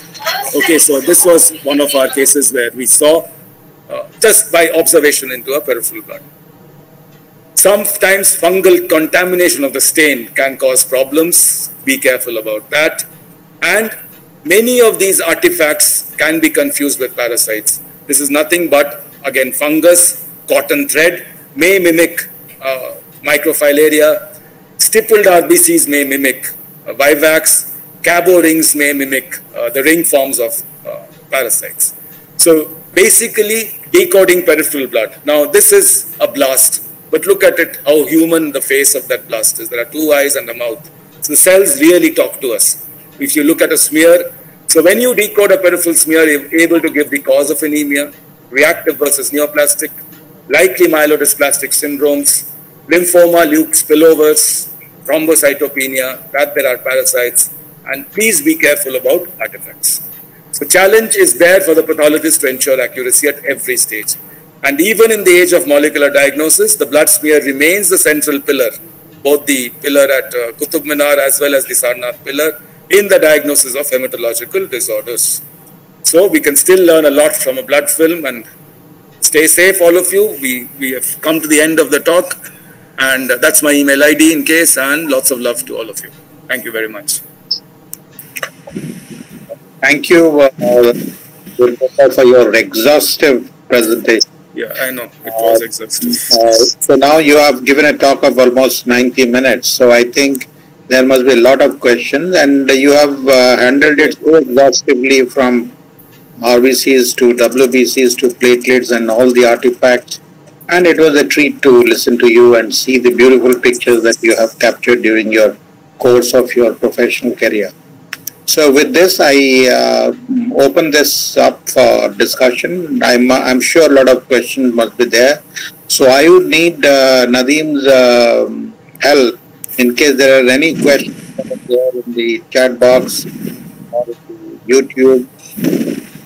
Uh, yeah, there are quite a few questions. Uh, um, I'll go one by one. Mm, uh, we can first take the questions from the Google Meet uh, yes. people who are here if they want to unmute and ask directly. In PM, we can restrict uh, to uh, some important questions on morphology and in the next 10 minutes we can wind up if you if it is okay with you.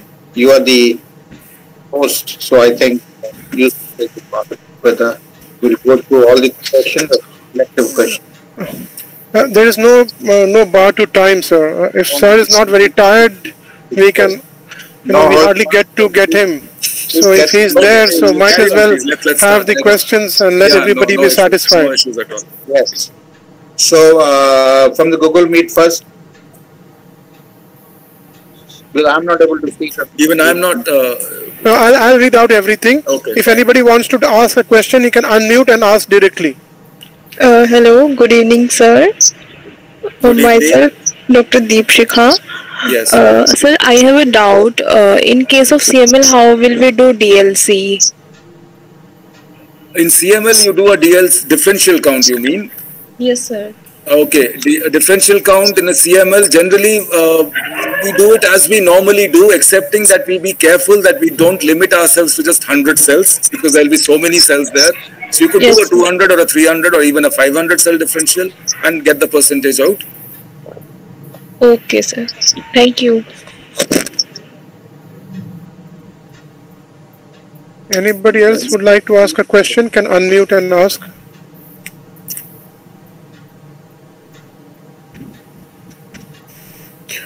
Okay, uh, I'll read out the questions. Anybody wants to unmute? Yeah. Hello. Yes, Hello. please. Yes, please. Yes, please. Yeah, uh, good evening, sir. Uh, I'm Dr. Shobha. Uh, my question is like in newborn uh, baby, sometimes the NRBCs will be like in hundreds.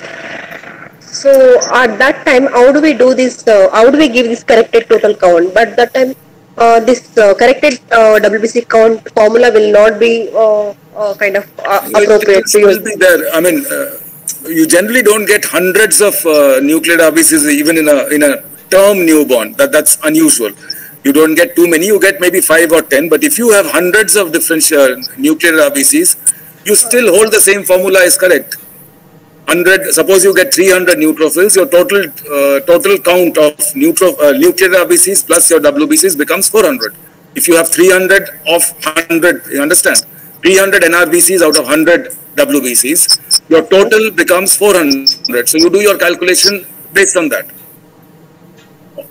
So you still can do you can still use the same formula even if the count of nuclear RBCs is more than 100 you can just just work the mathematics out it, it's not too difficult. Okay, sir. Okay. Thank you. you. have NRBCs plus 100 no? So count the number of NRBCs and uh, get it out. It's it's, it's Dr. Devpratap, uh, Yes, please. Professor Bakul Dalal from Vancouver has oh, glad to meet you sir Uh, dear sir, I am Dr. Paraniraman uh, from near Pondicherry. So in a newborn with presenting with jaundice and anemia, how to differentiate the spherocytes of autoimmune hemolytic anemia from hereditary spherocytosis? One, in newborn, uh, both autoimmune and hereditary spherocytosis are uncommon in a newborn, though both can present in newborn. And uh, very difficult to really differentiate on a peripheral smear between autoimmune and hereditary spherocytosis, uh, even in an adult. If you, you need a good history, you need a good uh, good clinical details available.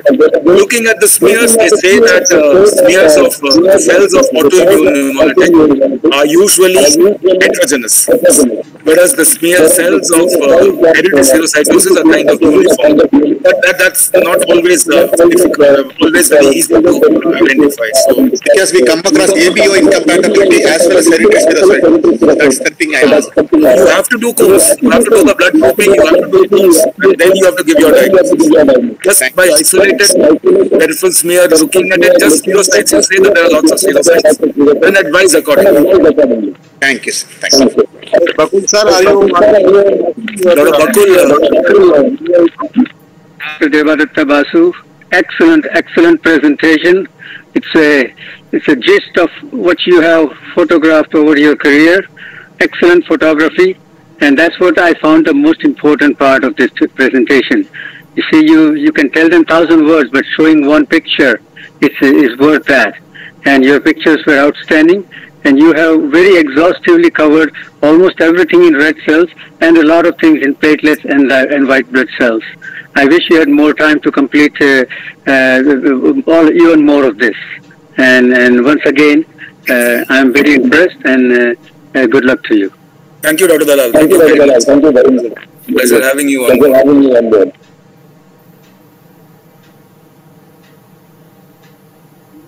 I see there is a question on when there is 92% neutrophils and 7% lymphocytes in the DC of a PS, how to report. Okay, Bidish has given the answer to that. Exactly correct. It's based entirely on the absolute counts, not merely on the percentage. Whenever you have this problem of whether there are too many neutrophils or too less lymphocytes or vice versa, look at uh, total count of lymphocytes or lymphocytes Uh. What I would like to say uh, to the audience, uh, morphology is a wonderful tool to the diagnosis. But Okay, some of them are uh, my own batchmates who have uh, just pulling my leg, that's all. uh, please use some amount of technology to the to interpret because sometimes the cell counter data complement and supplement the morphology. Oh, yes, absolutely, absolutely, Dr. Deepak. The cell counter, I have not gone into that part today, but cell counter is without a shade of doubt absolutely complementary. You need to know your cell counters and these uh, indices very well and interpret them well. That's why nowadays, even in our lab, we do peripheral smears in maybe just 10% of or 20% of all the cases that come to us. We, you need to rely on your cell counter uh, without a shade of doubt. Dr. Indraneel had said binucleated erythroid precursor in marrow is suggestive of congenital disorder. Yes, yes, yes. I mean, occasional binucleation and all are feature of dyserythropoiesis that can be seen in a wide variety of conditions. CDA is uh, where you see lots of binucleated erythroid precursors. Yeah, Dr. Bidish Patel is doing a lot of my answering. Thank you, Bidish.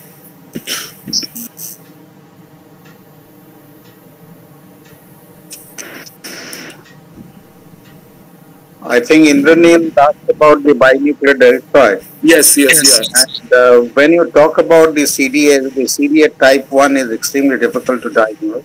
Oh, yes. CDA type 2 is easier, type 3 is still easier. So type 1 is the one which will always give you problems because the dyserythropoiesis is very subtle and the binucleated erythroids will be far too many uh, to make the diagnosis. Yes, absolutely.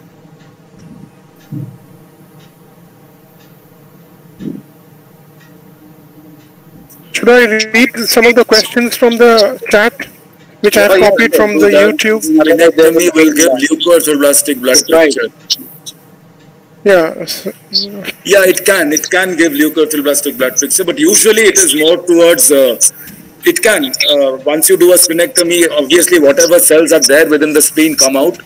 Uh, they're mainly the RBCs, the target cells, uh, acanthocytes, uh, Howell-Jolly bodies. Platelets come out not so much the immature myeloid cells. I mean, that they don't need to be, they're not there in the peripheral blood, so you don't really get, but neutrophilia is definitely there.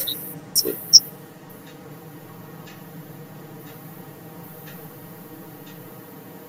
Yes, something from the uh, YouTube in case you yeah, have. please, that I'm not able to see, so Dr. No, Nadeem. I think that Nadeem will facilitate that. I have been copying all the YouTube questions and comments and I'm pasting it here. So you can read them Oh, all which you are reading here. Okay. A lot of them are from YouTube. Okay, fine. Then we'll go ahead one by one. Changes Hello. occur in monocyte morphology in Plasmodium falciparum. I am not sure. I mean, I have not really probably paid much attention to monocytes. Monocytes themselves, uh, uh, there's definitely monocytosis that occurs. But further change in monocyte morphology, I'm not sure. They're probably a part of the reactive lymphocyte process. Uh, this part I am not very sure. If someone else has an opinion on this, uh, please uh, say it out. You see how plate monocytes have uh, attracted a lot of attention Yes. in terms of sepsis. Because these days you have counters which have got algorithms which Yes. go Yes. to the mean monocyte, the monocyte distribution rate, the mean monocyte volume, and the mean neutrophil volume. These parameters in an algorithmic way can suggest if they. I'm not Can sure. suggest, Dr. Deepak, can suggest? YouTube. Hello, can I ask one question? Hello, Yes, please go ahead. uh, I'm Dr. Anshu Palta. Yes, please, I'm, uh, yes, please tell me. Yeah, I'm just, I just want to ask, like, uh, as uh, because we are uh, concentrating so much on peripheral blood smear, like normally we tell residents to report anisopoikilocytosis, but then I think we should emphasize what is the percentage of aniso and poikilo is there to to be significant to be reported in the peripheral blood smear. Generally, residents are very fond of writing anisopoikilocytosis. so, i- is it like Yes, I mean, you need to train them to first, uh, you know, what is mild, moderate, severe. That Yeah. has to be trained. So it is our responsibility to tell them what is significant or not significant. That's important. Okay. So once they have done done done that, they should be able to identify that this is kind of a significant anisocytosis or significant poikilocytosis. If you look back on the uh, guidelines that are given, some amount, you know, up to about 10% of changes is acceptable. But if exactly you're finding, if you're finding, yeah, maybe 5 to 10% is acceptable in any given, obviously all RBCs cannot be, it's a factory producing millions of cells, so all cannot be perfectly normal. So only when it is significant should we be able to appreciate that difference, that, that, that is, this is abnormal. So that is, we need to train them accordingly. We need to train them accordingly. Yeah. And another question, like you said, like the trypanosoma with the platelet segments, we can, uh, you know, so what, I mean, although we know we see the variety of platelet abnormalities in the peripheral blood smear, but sometimes the pictures were so, con- the pictures uh, you showed, like, were so confusing with trypanosoma. Precisely. Any, any way to differentiate it? No, you know, all these uh, trypanosomes especially will have a nucleus. You know, there'll be a nucleus and shape. So, uh, and trypanosomiasis anyway in India is, is an Very uncommon.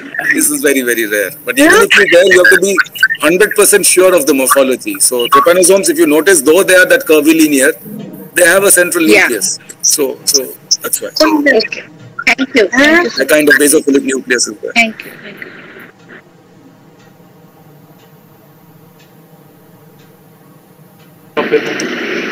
And it's a lovely presentation, I must say.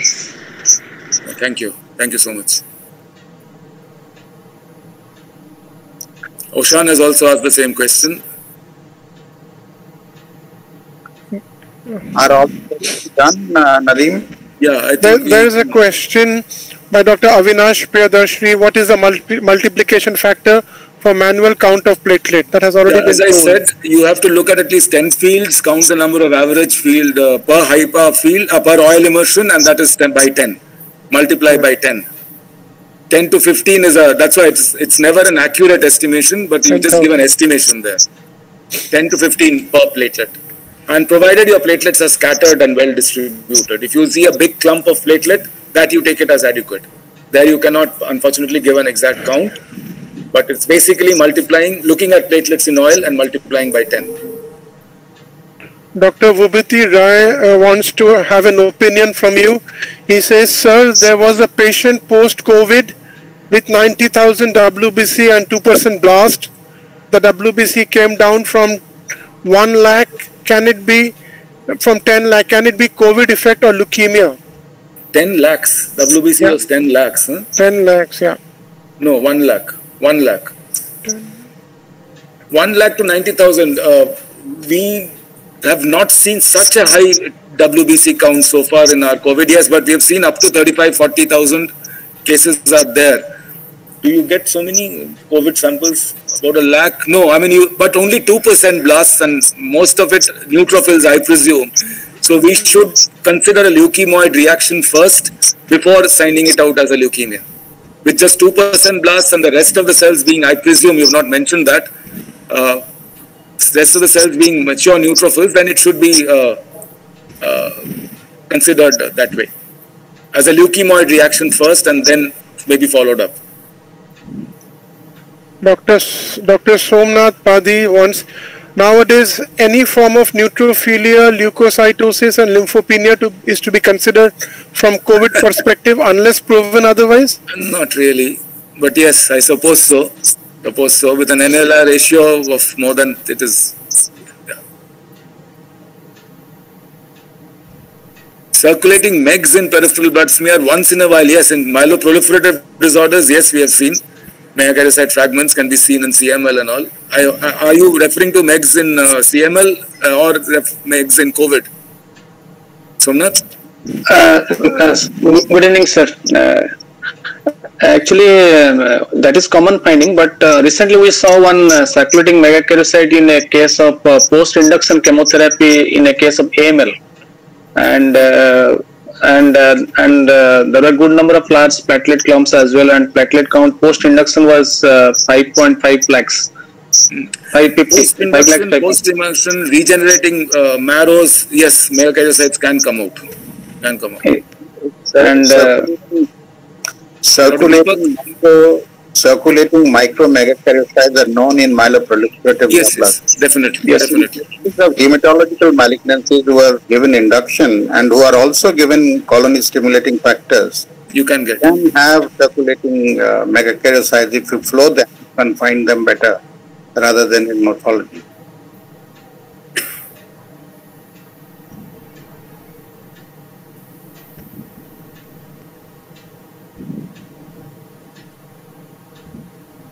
I think that's the end of it, uh, or are there more?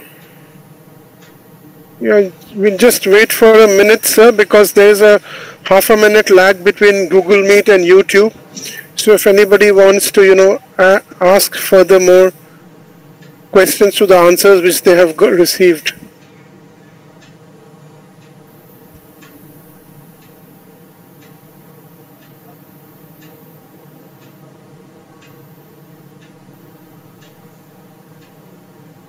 I- think, sir, uh, one. I have another suggestion, sir. Uh, uh, sir, am I audible? Yes, you Yes, are. Somnath. Yeah, yes, sir.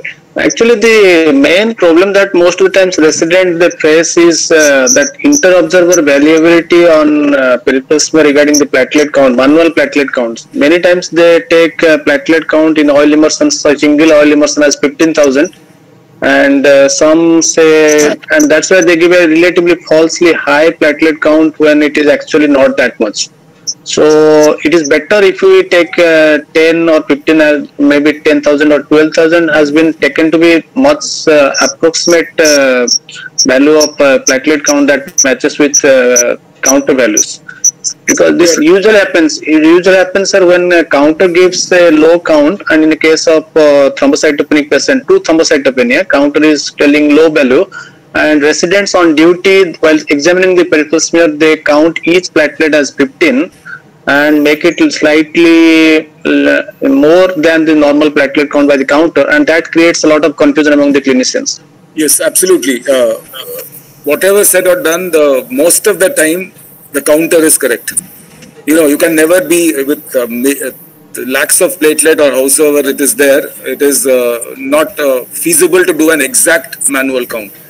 That's why it's uh, I generally don't encourage anyone doing it. It's just to compare, just to be sure that yes, uh, the counter is giving uh, 85,000, my count is roughly around 70, 80, 90,000, that's good enough.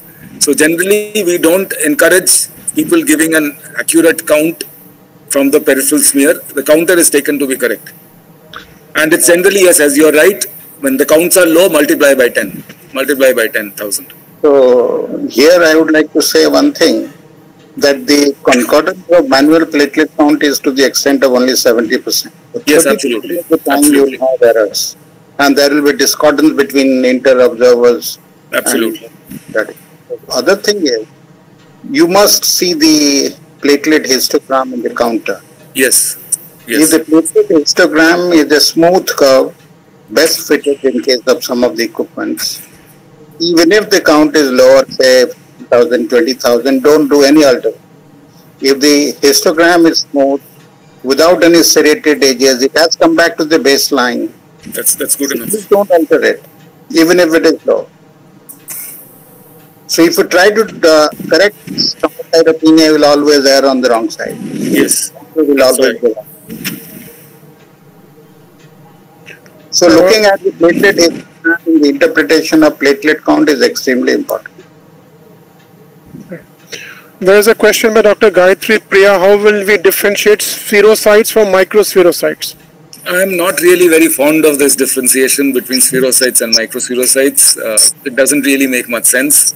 Uh, It's, I mean, we look at if what I do is I look at the heterogeneity of spherocytes. If there are small ones, bigger ones, that's more towards an autoimmune hemolytic anemia. And if you look at basically- the if you look at Basically, it doesn't really matter whether they're micro or macro because or large size because finally you'll have to uh, do Coombs test and then go ahead and do your uh, test otherwise. You I generally don't give too much importance to the size of those spherocytes. They're anyway small and that's my take on it. I've never found it very useful. Yes, so that is actually a morphologist's uh, delight.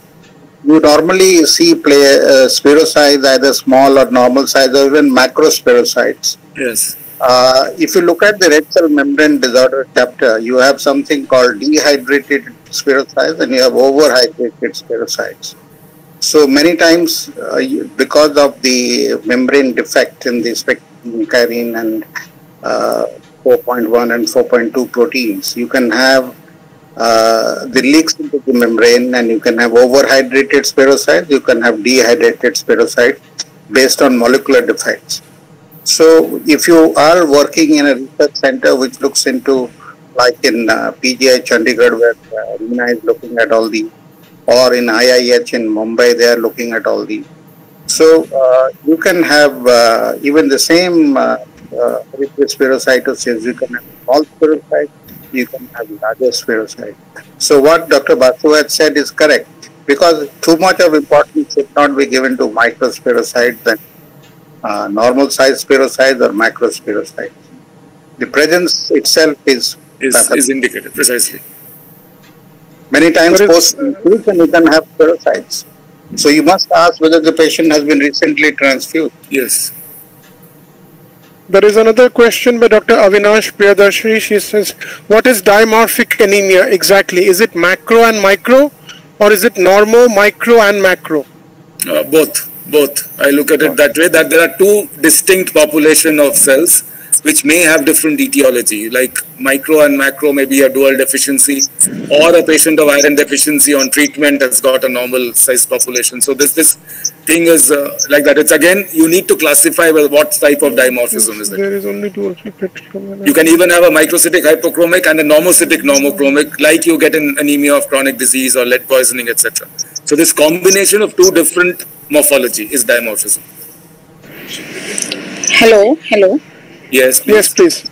Sir, I just want to like just as a query, I want to ask like many times when we uh, get a request from megaloblastic anemia marrow, and uh, we normally what I bo- uh, book says uh, like uh, retic response is maximum by seven day. Okay, but I've seen in many cases the seven day till seven day response is only one percent or two percent, but moment if we jump to eight or nine days, it's suddenly ten percent. So many times I tell clinician to wait at least for one to two days more before going for the marrow, especially in a young uh, person. In elderly, we know we, we should go marrow even if we have a megaloblastic picture. So should we revise the guidelines that the peak occurs at seven days, or it is variable? It's kind of variable. Actually, nowadays we have kind of stopped advising marrows for uh, Megaloblastic. which is, you know, it looks like megaloblastic on the peripheral smear and history-wise. Uh, and post-marrow, post-marrow, see, once you have started the patient on B12 and folate, there is no point in doing a marrow. Yes. You know, because uh, as we know, if it's a true deficiency, within 24 hours, the marrow will become normal. So it is Yes. pointless doing a marrow on the seventh day or 10th day.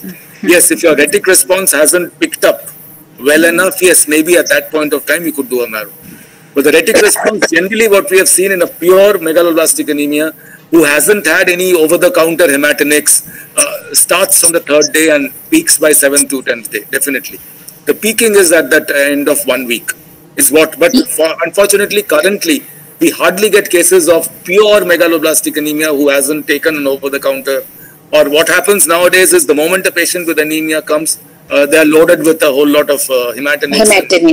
So those are the issues. We hardly find pure like megaloblastic anemia nowadays, hardly ever. Yeah, so what I believe in many times clinicians are very, you know, like they want to clear their beds or something, like they always feel it is a megaloblastic, do marrow. We and especially in young patients we like to wait, you know. But we and we know that the don't encourage change- marrows in a you know classical case of megaloblastic. Let's not encourage. Uh, and so picture changes within 24 to 48 hours yes, and so uh, doing a marrow is pointless once you Yes. started the patient on any treatment. so my question was can the response be delayed till 7 days also i have seen in many cases Yes, it is. It is possible to be delayed. Depends on also the compliance of the patient. okay Depends on whether there is a associated other nutritional deficiency. Suppose the patient has iron deficiency, the response may be a suboptimal. So there are lots of causes for. But yes, you are right. The delay can be there. Delay can be there. yeah thank you So this last questions are on the YouTube. So, hello sir, if Yeah, there is yes, only sir. two or three platelet clumps and everywhere on the smear and it is lower than normal, then is it thrombocytopenia or normal? My take is if you are seeing two or three good platelet clumps, it is adequate. Because obviously they have got clumped together, so they are not seen in the rest of the field. If you see two or three good platelet clumps, maybe with 10 platelets or 15 platelets clumped together, even one single clump, I would label it as normal. Adequate. Adequate. I will not do a count. I will not give a uh, count that it is 1 lakh 50,000 or 2 lakh 50,000. No. All right. Avinash, retic count is definitely high, but not as high considering the degree of uh, hemolysis or degree of anemia. As you know, in thalassemia major, there is an element of ineffective erythropoiesis. So the count is not very high as compared to the degree of anemia that the patient has. Minor, it is usually normal. Or no reason for uh, retic to be high in uh, minor. There's hardly any hemolysis going on. So I think uh, we'll, uh, should we stop here? I will just uh, uh, can I last uh. Uh, I, I, uh, clarify a little bit of Dr. Ansul's uh, uh, question. You know, when you do this retic count following the treatment of beta folate, many times we think that celiac disease is not so common in India. It's factor and antiparietal cell antibody, where the absorption of uh, B12 folate is uh, hampered. So you, even though you are having macrocytic you may not have the optimal response to matter. So in those situations, if celiac but there, there, there the the response is very suboptimal, very slow. Very and- So there needs to be the injectable product. So,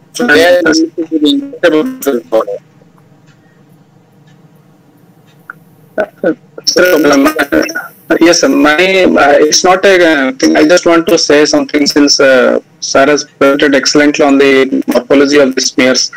and uh, the morphology pioneer morphologist and sir since you are there so nowadays uh, is it uh, i think we should practice the uh, the from the morphology point of view what we see in the petrosphere or on the marrow what is the likely molecular abnormality to be tested uh, to be very specifically to be incorporated in the report? And uh, I will be sir very interested to attend a talk like when morphology like NPM1 positive like copying nucleus of the myeloid blast and NPM1 was done and it came